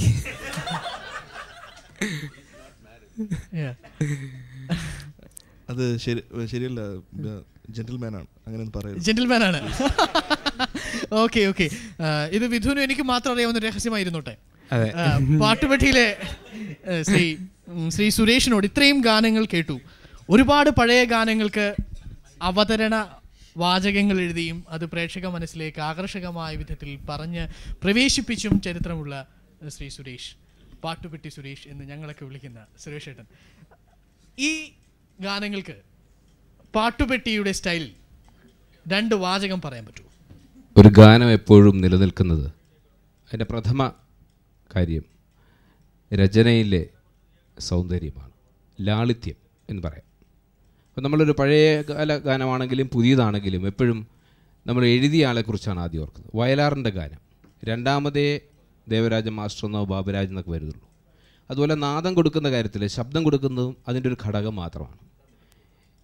ഈസ്റ്റ് കോസ്റ്റിന്റെ നിനക്കായ എന്ന ആൽബം ഏറ്റവും കൂടുതൽ ആളുടെ മനസ്സിലേക്ക് എത്തിയത് രചനയുടെ ലാളിത്യം കൊണ്ട് തന്നെയാണ്. ഈ ലാളിത്യം ഇപ്പോൾ കേട്ടിട്ടുള്ള ഇപ്പോൾ നമ്മൾ കേട്ട ഈ ഗാനങ്ങൾക്കൊക്കെ തന്നെയുണ്ട്. പിന്നെ നമ്മളിതൊരു ടോക്ക് ഷോ നടത്തിയിട്ട് ഒരു ഗിമിക്കും ആളുകളുടെ മുമ്പേ നടത്താൻ പറ്റില്ല. ഒരു ജനങ്ങൾ റിയാലിറ്റി തിരിച്ചറിയുന്നവരാണ്. ഈസ്റ്റ് കോസ്റ്റിനെ സംബന്ധിച്ചൊരു മിനിമം ഗ്യാരണ്ടി ഉണ്ട്. ഈ മിനിമം ഗ്യാരണ്ടി കൊണ്ട് കുറച്ച് പേർ മേടിക്കും. ആ കുറച്ച് പേർ ഇനി വരാൻ പോകുന്ന ഈ തലമുറയുടെ ഗാനം വളരെ ശ്രേഷ്ഠമാണെന്ന് തിരിച്ചറിഞ്ഞുകൊണ്ട് ഇനി അങ്ങോട്ടുള്ള നാളുകൾ ഇനി എന്നും എന്ന കാസറ്റിന്റെ ഒരു തരംഗമായിരിക്കും എന്ന് വേണം പറയാം. ഇപ്പം സ്നേഹ സ്നേഹലാളനകളുടെ രാഗഗീതങ്ങളായിരിക്കും ഇനിയുള്ള നാളുകൾ. ശ്രീ പള്ളാശ്ശേരി ഇത്രയും ഗാനങ്ങൾ കേട്ട് കഴിഞ്ഞു. അതിനെക്കുറിച്ചുള്ള പ്രതികരണങ്ങളാണ് ഇനി വരേണ്ടത്. എന്താണ് അഭിപ്രായം? എന്താണ് പ്രതീക്ഷ? ഈ ഗാനങ്ങൾ കേട്ടപ്പോൾ ഏതോ എന്റെ ചെറുപ്പകാലത്ത് മനസ്സിൽ ഉണ്ടായിരുന്ന പ്രണയങ്ങളുടെ പ്രണയങ്ങളുടെ അല്ല പ്രണയത്തിന്റെ. സത്യം സത്യം സത്യം. അതോടൊപ്പം ഈ ഗായകരുടെ പുതിയ ഗായകരുടെ ശബ്ദം അവരുടെ ഗാനാലാപം എല്ലാം തന്നെ മനസ്സിനെ വളരെയധികം ആകർഷിക്കുന്നതാണ്. പ്രവീണ ഒരു നടി എന്നതിനേക്കാൾ ഉപരിയായി ആദ്യം നമ്മൾ കണ്ടതും അറിഞ്ഞതും പ്രശംസിച്ചതും പ്രവീണയുടെ ശബ്ദത്തെയാണ്. ആ ശബ്ദത്തിൽ ഒരുപക്ഷെ ഈ ഗാനങ്ങൾ ഇനി കേട്ടു തുടങ്ങുന്നതേ ഉള്ളൂ ആസ്വദിക്കാൻ പോകുന്നതേ ഉള്ളൂ. ആസ്വദിച്ച അവസ്ഥയിൽ നിന്നുകൊണ്ട് എന്ത് തോന്നുന്നു? ഈ ഗാനങ്ങൾ പാടിയ ആൾക്കാർ രചന സംഗീതം ഇതെല്ലാം. ഞാനൊരു ഗായികയൊന്നുമല്ല. ഞാൻ സാറിന്റെ വിജയ സാറിന്റെ കഴിഞ്ഞ നാല് കാസറ്റിലെയും പാട്ടുകളെല്ലാം ഞാൻ കേട്ടിട്ടുണ്ട്. എന്റെ വീട്ടിൽ നാല് കാസറ്റും ഉണ്ട്. എനിക്ക് വളരെ ഇഷ്ടപ്പെട്ട ഗാനങ്ങളാണ്. ഞാൻ സാറിനെ ഒരിക്കൽ കണ്ടപ്പോൾ പറയുകയും ചെയ്തു. വളരെ ലാളിത്യമുള്ള വരികളാണ്. ഏതൊരു സാധാരണക്കാരനെയും പിടിച്ചിരുത്തുന്ന പ്രണയത്തിന്റെ അനുഭവങ്ങൾ ഇല്ലാത്തവരെ പോലും പിടിച്ചിരുത്തുന്ന വരികൾ വാക്കുകൾ അതാണ് അതിന്റെ പ്രത്യേകത. പിന്നെ അതിന്റെ ആ വരികളുടെ വാക്കുകളുടെ ആത്മാവ് അറിഞ്ഞു കൊടുക്കുന്ന സംഗീതം ഒക്കെയാണോ ഈ മനുഷ്യനെ പിടിച്ചിരുത്തുന്നത്? വളരെ സിമ്പിളായിട്ടുള്ള ലിറിക്സ് ഒരു വാക്ക് പോലും നമുക്കതിൽ മനസ്സിലാകാത്തതില്ല. ഒരു സാഹിത്യത്തിന്റെ ഒരു ഭാഷ വലുതായിട്ട് അതിൽ വരുന്നില്ല. അതാണ് ഇതിന്റെ ഒരു പ്രത്യേകത. പറഞ്ഞ പോലെ അതിന്റെ ആ ഒരു എന്റെ ആത്മാവ് അറിഞ്ഞു കൊടുത്തിരിക്കുന്ന സംഗീതം. അതുകൊണ്ട് ഈ കഴിഞ്ഞ നാലും എനിക്ക് വളരെ ഇഷ്ടപ്പെട്ടാണ്. ഇത് ഞാൻ കേട്ടില്ല. ഇനിയെന്നും എന്നും എന്നുള്ളത് ഞാൻ കേട്ടില്ല കേൾക്കണം. അതും എനിക്ക് തോന്നുന്നു ഈ സംഗീതപ്രേമികൾക്ക് ഈ കഴിഞ്ഞ നാലും ഇഷ്ടപ്പെട്ടിട്ടുള്ളവരെ നിരാശപ്പെടുത്തില്ല എന്നൊരു പ്രതീക്ഷയുണ്ട്. എല്ലാ ഭാഗങ്ങളും ആശംസകളും സാറിന് നേരെയാണ് എല്ലാവർക്കും ജയചന്ദ്രൻ ചേട്ടനും. പ്രവീൺ ആ പഴയ ആൽബത്തിൽ നിന്ന് പ്രവീണയുടെ ശബ്ദം ഒരിക്കൽ കൂടി ഇവിടെ ഞങ്ങൾക്ക് കേൾക്കാൻ ഒരു ആഗ്രഹമുണ്ട്. ഇത്രമേലിൻ നീ സ്നേഹിച്ചിരുന്നെങ്കിൽ എന്തിനു നീ എന്നെ വിട്ടകന്നു? ഇത്രമേലെന്നെ നീ സ്നേഹിച്ചിരുന്നെങ്കിൽ എന്തിനു നീ എന്നെ വിട്ടയച്ചു? അകലെ പോയി മറഞ്ഞു. എന്ത് തോന്നുന്നു? കുറച്ചുകൂടി വർഷങ്ങൾ പിന്നിലേക്ക് പോയിരുന്നെങ്കിൽ എന്ന് തോന്നുന്നില്ലേ? തീർച്ചയായും അത് തോന്നുന്നുണ്ട്. കാരണം ഈ നേരത്തെ പ്രണയത്തിന്റെ കാര്യം പറഞ്ഞു ഇവിടെ പലരും. പക്ഷേ അത് എന്റെ അഭിപ്രായത്തിൽ എനിക്ക് തോന്നുന്നത് ഓരോരുത്തർക്കും ആ ഒരു പ്രത്യേക സാഹചര്യത്തിൽ തോന്നുന്ന ഒരു പ്രത്യേക അവസരത്തിൽ തോന്നുന്ന അനുഭൂതിയായിട്ട് മാത്രമേ അതിനെ നമുക്ക് മനസ്സിലാക്കാൻ പറ്റുള്ളൂ. ഈ ഒരു കാസറ്റിന്റെ അവതരണത്തെക്കുറിച്ച് അല്ലെങ്കിൽ ഗാനങ്ങളെ വളരെ സൂക്ഷ്മ സൂക്ഷ്മതയോടുകൂടി നിരീക്ഷിച്ച ഒരു വ്യക്തി ഇവിടെ ഇരിപ്പുണ്ട്. ഇതിന്റെ വിപണനവുമായി ബന്ധപ്പെട്ട് എപ്പോഴും ചെങ്കെടുപ്പോടുകൂടി മാത്രം വിപണന രംഗത്തേക്ക് പ്രവേശിക്കുന്ന വ്യക്തി. എന്തു തോന്നുന്നു? ഈ കാസറ്റ് വിപണിയിൽ തരംഗം സൃഷ്ടിക്കാൻ സാധ്യതയുണ്ടോ? തീർച്ചയായും. എന്തുകൊണ്ട്? ഒന്നുമല്ല വിജയുടെ വരികളുടെ ലാളിത്യം ഏത് സാധാരണക്കാരനിലും ഇഷ്ടപ്പെടുന്ന രീതിയിലാണ്. കുട്ടികളായാലും മുതിർന്നവരായാലും ഒരേപോലെ ഈ കാസറ്റ് വന്ന് കടയിൽ ചോദിച്ചു വാങ്ങുന്നു. ഓരോ കാസറ്റ് ഇറങ്ങും തോറും വന്ന് ചോദിച്ച് ചോദിച്ച് പുതിയത് പുതിയത് ഇറങ്ങിയോ പുതിയ ആൽബം ഇറങ്ങിയോ അങ്ങനെ ചോദിക്കുന്നു. അടുത്തതെന്ന് പറഞ്ഞാൽ ഈസ്റ്റ് കോസ്റ്റിന്റെ കാസറ്റിന്റെ ക്വാളിറ്റി യാതൊരുവിധ കംപ്ലൈന്റും ഇല്ലാത്ത രീതിയിലാണ് മാർക്കറ്റിൽ അത് വരുന്നത്. കൃത്യസമയത്ത് സാധനങ്ങൾ മാർക്കറ്റ് ചെയ്യുന്നു. പ്രണയത്തെക്കുറിച്ച് നമ്മൾ ഈ ചർച്ച ആരംഭിച്ചു. പ്രണയത്തിന്റെ ഏറ്റവും ഒടുവിലത്തെ അവസാന മണിക്കൂറുകളിൽ നമ്മൾ എത്തി നിൽക്കുന്നു. ചോദിക്കട്ടെ വിജയൻ ചേട്ടാ. ഇപ്പോഴും മനസ്സിൽ സൂക്ഷിക്കുന്ന ആ പ്രണയം ഏതാണെന്നോ അല്ലെങ്കിൽ ഈ പ്രണയത്തിന് അല്ലെങ്കിൽ ഇത്ര മനോഹരമായ വരികൾക്ക് ഊർജം പകർന്ന അനുഭവം ഏതാണെന്നോ ഞങ്ങളോടൊപ്പം പങ്കുവയ്ക്കാനാകുമോ തീർച്ചയായും സാധ്യമല്ല. തീർച്ചയായും സാധ്യമല്ല. സാധ്യമല്ല. സ്വപ്നങ്ങളെ വിൽക്കാൻ വിട്ടിട്ട് അനുഭവങ്ങളെ സ്വന്തമാക്കാൻ ആഗ്രഹിക്കുന്നു അല്ലേ? എന്ത് തന്നെ ആയാലും സത്യം സത്യമായി പറഞ്ഞു. പക്ഷേ അതെന്റെ എന്റെ എന്റെ ഒരു സ്വകാര്യതയായി എന്നിൽ മാത്രം ആയിരിക്കുവാൻ ഞാൻ ആഗ്രഹിക്കുന്നു. പക്ഷേ എന്തായാലും ഞാൻ പറഞ്ഞതുപോലെ തന്നെ ഇതിൽ ഓരോ പാട്ടിലും ഒരു മുഖമുണ്ട്. അനുഭവങ്ങളുണ്ട്. സത്യവും സൗന്ദര്യവും സന്ദേശമൊക്കെ ഉണ്ട് ഒരുപക്ഷെ ഞാൻ പറഞ്ഞല്ലോ എന്റെ ജീവിതത്തിൽ ഇന്നലകളിലാകാം ഇന്നിലാകാം ഇനി വരാൻ പോകുന്ന നാളുകളിലാകാം. പക്ഷേ ഈ നാളുകളിലായാൽ പോലും നാളുകളിലായാൽ പോലും ഞാൻ അനുഭവിക്കുന്നു എന്നെനിക്ക് തോന്നിപ്പോകുന്ന വികാരങ്ങളാണ്. പിന്നെ പ്രണയത്തെക്കുറിച്ച് ഞാൻ നേരത്തെ സൂചിപ്പിച്ച പോലെ ഈ പ്രണയമെന്ന് പറഞ്ഞാൽ ഒരിക്കലും ഒരു ആണിനും പെണ്ണിനും മാത്രം തോന്നുന്ന ഒരു വികാരമല്ല. അല്ലെങ്കിൽ ഒരു ആണിന് പെണ്ണിനോടും പെണ്ണിന് ആണിനോടും തോന്നുന്ന ഒരു വികാരമായിട്ടല്ല ഞാൻ കണക്കാക്കുന്നത്. കാരണം നമുക്ക് എന്തിനോടും ഒരു ഒരു വല്ലാത്ത അടുപ്പം ആത്മാർത്ഥത ആ ആത്മാർത്ഥതയും സത്യസന്ധതയും പരിശുദ്ധിയും ഒക്കെ അതിന്റെ ഒരു പ്രതിഫലനമാണിത് അപ്പോൾ തീർച്ചയായിട്ടും എന്നെ സംബന്ധിച്ചോളം എന്റെ ജീവിതത്തിന്റെ അവശ അവസാന ശ്വാസം വരെയും ഈ പ്രണയം എന്ന വികാരം എന്നിൽ ഉണ്ടാകുമെന്നാണ് ഞാൻ വിശ്വസിക്കുന്നത്. അത് തീർച്ചയായും സൃഷ്ടിപരമായ പലർക്കും പ്രയോജനപ്പെടുന്ന രീതിയിൽ അല്ലെങ്കിൽ നല്ല നല്ല നല്ല നല്ല സൃഷ്ടികൾക്ക് ജന്മം കൊടുക്കാൻ ഉതകുന്ന ഒരു വികാരമായി എന്നിൽ അവശേഷിക്കും എന്ന് തന്നെയാണ് ഞാൻ വിശ്വസിക്കുന്നത്. അനൂപ് ഇപ്പൊ എന്ത് തോന്നുന്നു? പ്രണയത്തെക്കുറിച്ചുള്ള ആദ്യ സങ്കല്പത്തിൽ മാറ്റം വന്നിട്ടുണ്ടോ? ആദ്യ സങ്കല്പത്തിൽ നിന്ന് മാറ്റോ? നേരത്തെയും ഇപ്പോഴും എല്ലാം ഒരേ സങ്കല്പം തന്നെ. പ്രേമിക്കാനുള്ളൊരു മനസ്സുമായിട്ടിരിക്കുന്ന ഒരു കാമുകൻ ഉദയഭാനുചേട്ടനെ പോലെ. ഇതാ നോക്കൂ. യഥാർത്ഥത്തിൽ പ്രണയവും മുല്ലപ്പൂവും ഉദയഭാനു ചേട്ടനും തമ്മിൽ എത്രത്തോളം സാമ്യമുണ്ടെന്ന് ഇനി പറഞ്ഞറിയിക്കേണ്ടതില്ല. ഒരുപക്ഷെ ഈ കാസറ്റിന്റെ പ്രത്യേകതയാണോ എന്നറിയില്ല. നിത്യകാമുകനായി നിൽക്കുന്ന ഉദയഭാനു ചേട്ടനിലേക്ക് വരുന്നു. ഉദയഭാനു ചേട്ടാ ഈ കാസറ്റിലെ പാട്ട് കേട്ടിട്ടാണോ മുല്ലപ്പൂ കയ്യിൽ ചുരുട്ടണോ തോന്നിയത്? ആയിരിക്കാം. താങ്കൾ പറഞ്ഞ പോലെ ഒരു നിത്യ കാമുകനായി ഇരിക്കുകയാണ് ഞാനിപ്പോൾ. നിത്യ കാമുകനായി ഇരിക്കുന്നു. അതെ. ഉദയഭാനു ചേട്ടാ ഉദയഭാനു ചേട്ടൻ മുന്നിൽ ദൈവം പ്രത്യക്ഷപ്പെട്ടിട്ട് വരം ചോദിക്കുന്നു. ഒരു വരം തരാമെന്ന് പറയുന്നു. എന്തു വരമായിരിക്കും സ്വീകരിക്കുക? എന്നും നിത്യ കാമുകനായിരിക്കണം എന്ന് പറയും. നിത്യ ഗായകനായിരിക്കണ്ടേ? അങ്ങനെ വളർന്നില്ല ഇത് മതി.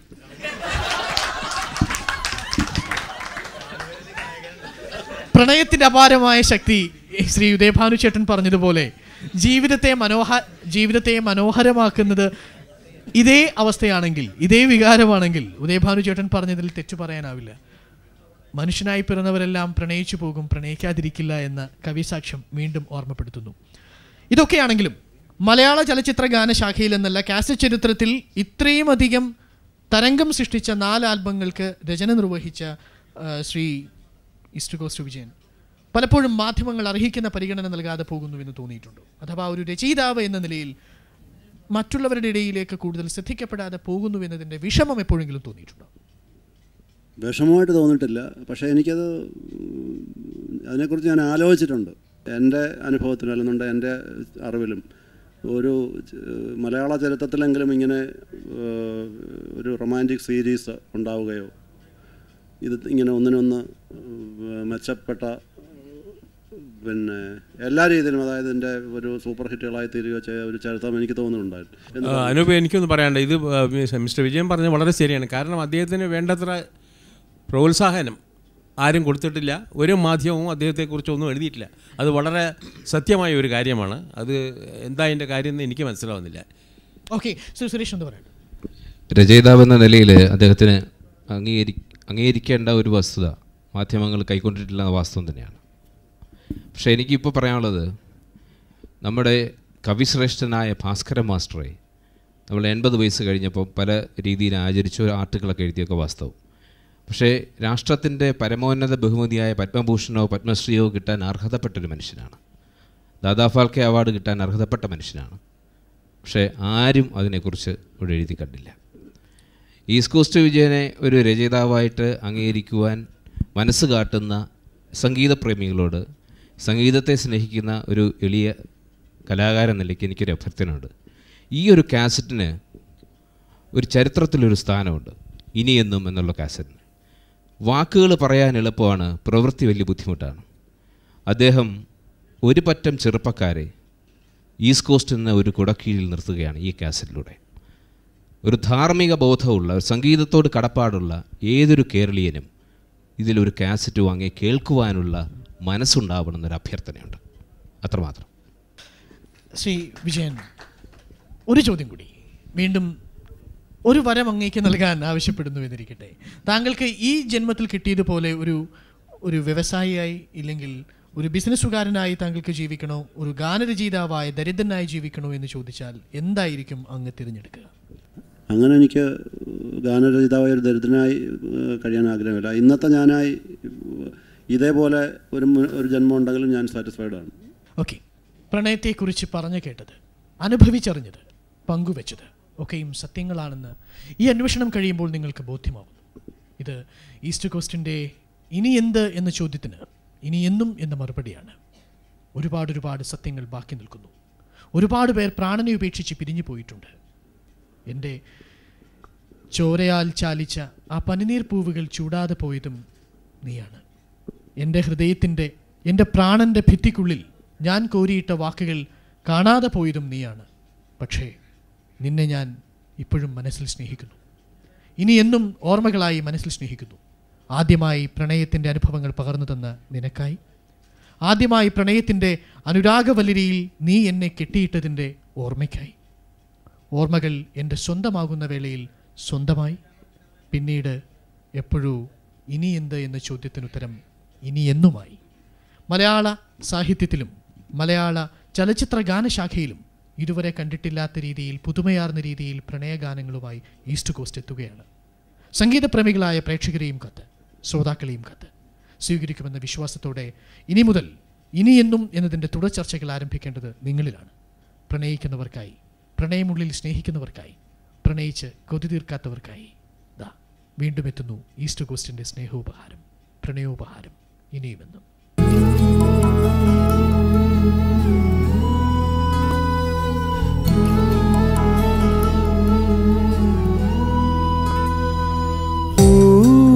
ചോദിച്ചു ഞാൻ വന്നു. നിനക്കായി ആദ്യമായി ഓർമ്മയ്ക്കായി സ്വന്തം ഇനിയെന്നും. ഇതിഹാസ വിജയമായി മാറിയ ഈസ്റ്റ് കോസ്റ്റിന്റെ ഈ പ്രണയഗാന സമാഹാരങ്ങൾക്കിതാ ഒരു തുടർച്ച. എന്നെന്നും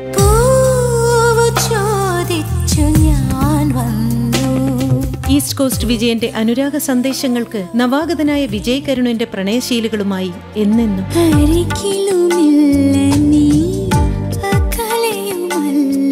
മലയാളത്തോടൊപ്പം തമിഴ് തെലുങ്ക് കന്നഡ ഹിന്ദി എന്നീ ഭാഷകളിലും. മുപ്പത് മുൻനിര ഗായകരും അറുപത് ഗാനങ്ങളുമായി ലോകമെമ്പാടും വിപണിയിൽ. ഈ മധുര മനോഹര ഗാനങ്ങൾ റിംഗ് ടൂണായും കോളർ ട്യൂണായും ലോകത്തെവിടെയും നിങ്ങളുടെ മൊബൈലിൽ. സന്ദർശിക്കുക W W W dot East Coast audios dot in നിനക്കായി ആദ്യമായി ഓർമ്മയ്ക്കായി സ്വന്തം ഇനിയെന്നും. ഇതിഹാസ വിജയമായി മാറിയ ഈസ്റ്റ് കോസ്റ്റിന്റെ ഈ പ്രണയഗാന സമാഹാരങ്ങൾക്കിതാ ഒരു തുടർച്ച എന്നെന്നും.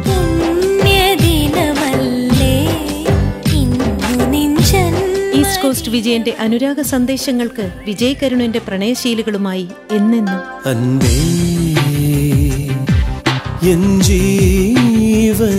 മലയാളത്തോടൊപ്പം തമിഴ് തെലുങ്ക് കന്നഡ ഹിന്ദി എന്നീ ഭാഷകളിലും. First ever five languages romantic album ലോകമെമ്പാടും വിപണിയിൽ. ഈ മധുര മനോഹര ഗാനങ്ങൾ റിംഗ് ടൂണായും കോളർ ട്യൂണായും ലോകത്തെവിടെയും നിങ്ങളുടെ മൊബൈലിൽ. സന്ദർശിക്കുക W W W dot East Coast audios dot in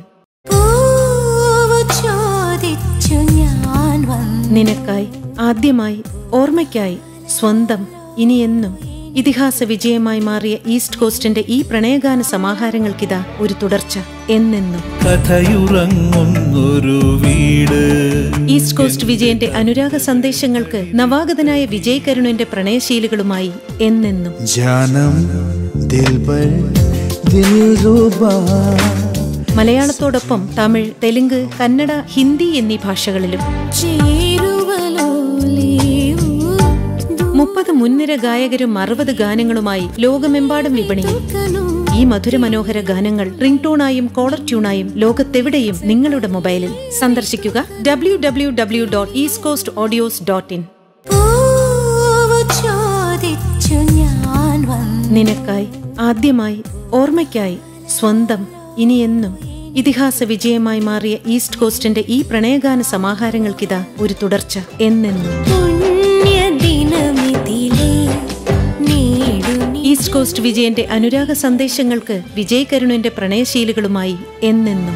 ഒരു ചെറു പുഞ്ചിരി മിഴികളിൽ തൂകി മലയാളത്തോടൊപ്പം തമിഴ് തെലുങ്ക് കന്നഡ ഹിന്ദി എന്നീ ഭാഷകളിലും. The first ever five languages romantic album ലോകമെമ്പാടും വിപണിയിൽ. ഈ മധുരമനോഹര ഗാനങ്ങൾ റിംഗ് ടോണായും കോളർ ട്യൂണായും ലോകത്തെവിടെയും നിങ്ങളുടെ മൊബൈലിൽ സന്ദർശിക്കുക. W W W dot East Coast audios dot in നിനക്കായി ആദ്യമായി ഓർമ്മയ്ക്കായി സ്വന്തം ഇനിയെന്നും ഇതിഹാസ വിജയമായി മാറിയ ഈസ്റ്റ് കോസ്റ്റിന്റെ ഈ പ്രണയഗാന സമാഹാരങ്ങൾക്കിതാ ഒരു തുടർച്ച എന്നെന്നും. ജാനം ദിൽബർ ദിൽറുബാ ഈസ്റ്റ് കോസ്റ്റ് വിജയന്റെ അനുരാഗ സന്ദേശങ്ങൾക്ക് വിജയകരുണന്റെ പ്രണയശീലുകളുമായി എന്നെന്നും. മലയാളത്തോടൊപ്പം തമിഴ് തെലുങ്ക് കന്നഡ ഹിന്ദി എന്നീ ഭാഷകളിലും. മുപ്പത് മുൻനിര ഗായകരും അറുപത് ഗാനങ്ങളുമായി ലോകമെമ്പാടും വിപണിയും ഈ മധുരമനോഹര ഗാനങ്ങൾ റിംഗ് ടൂണായും കോളർ ട്യൂണായും ലോകത്തെവിടെയും നിങ്ങളുടെ മൊബൈലിൽ സന്ദർശിക്കുക. W W W dot East Coast audios dot in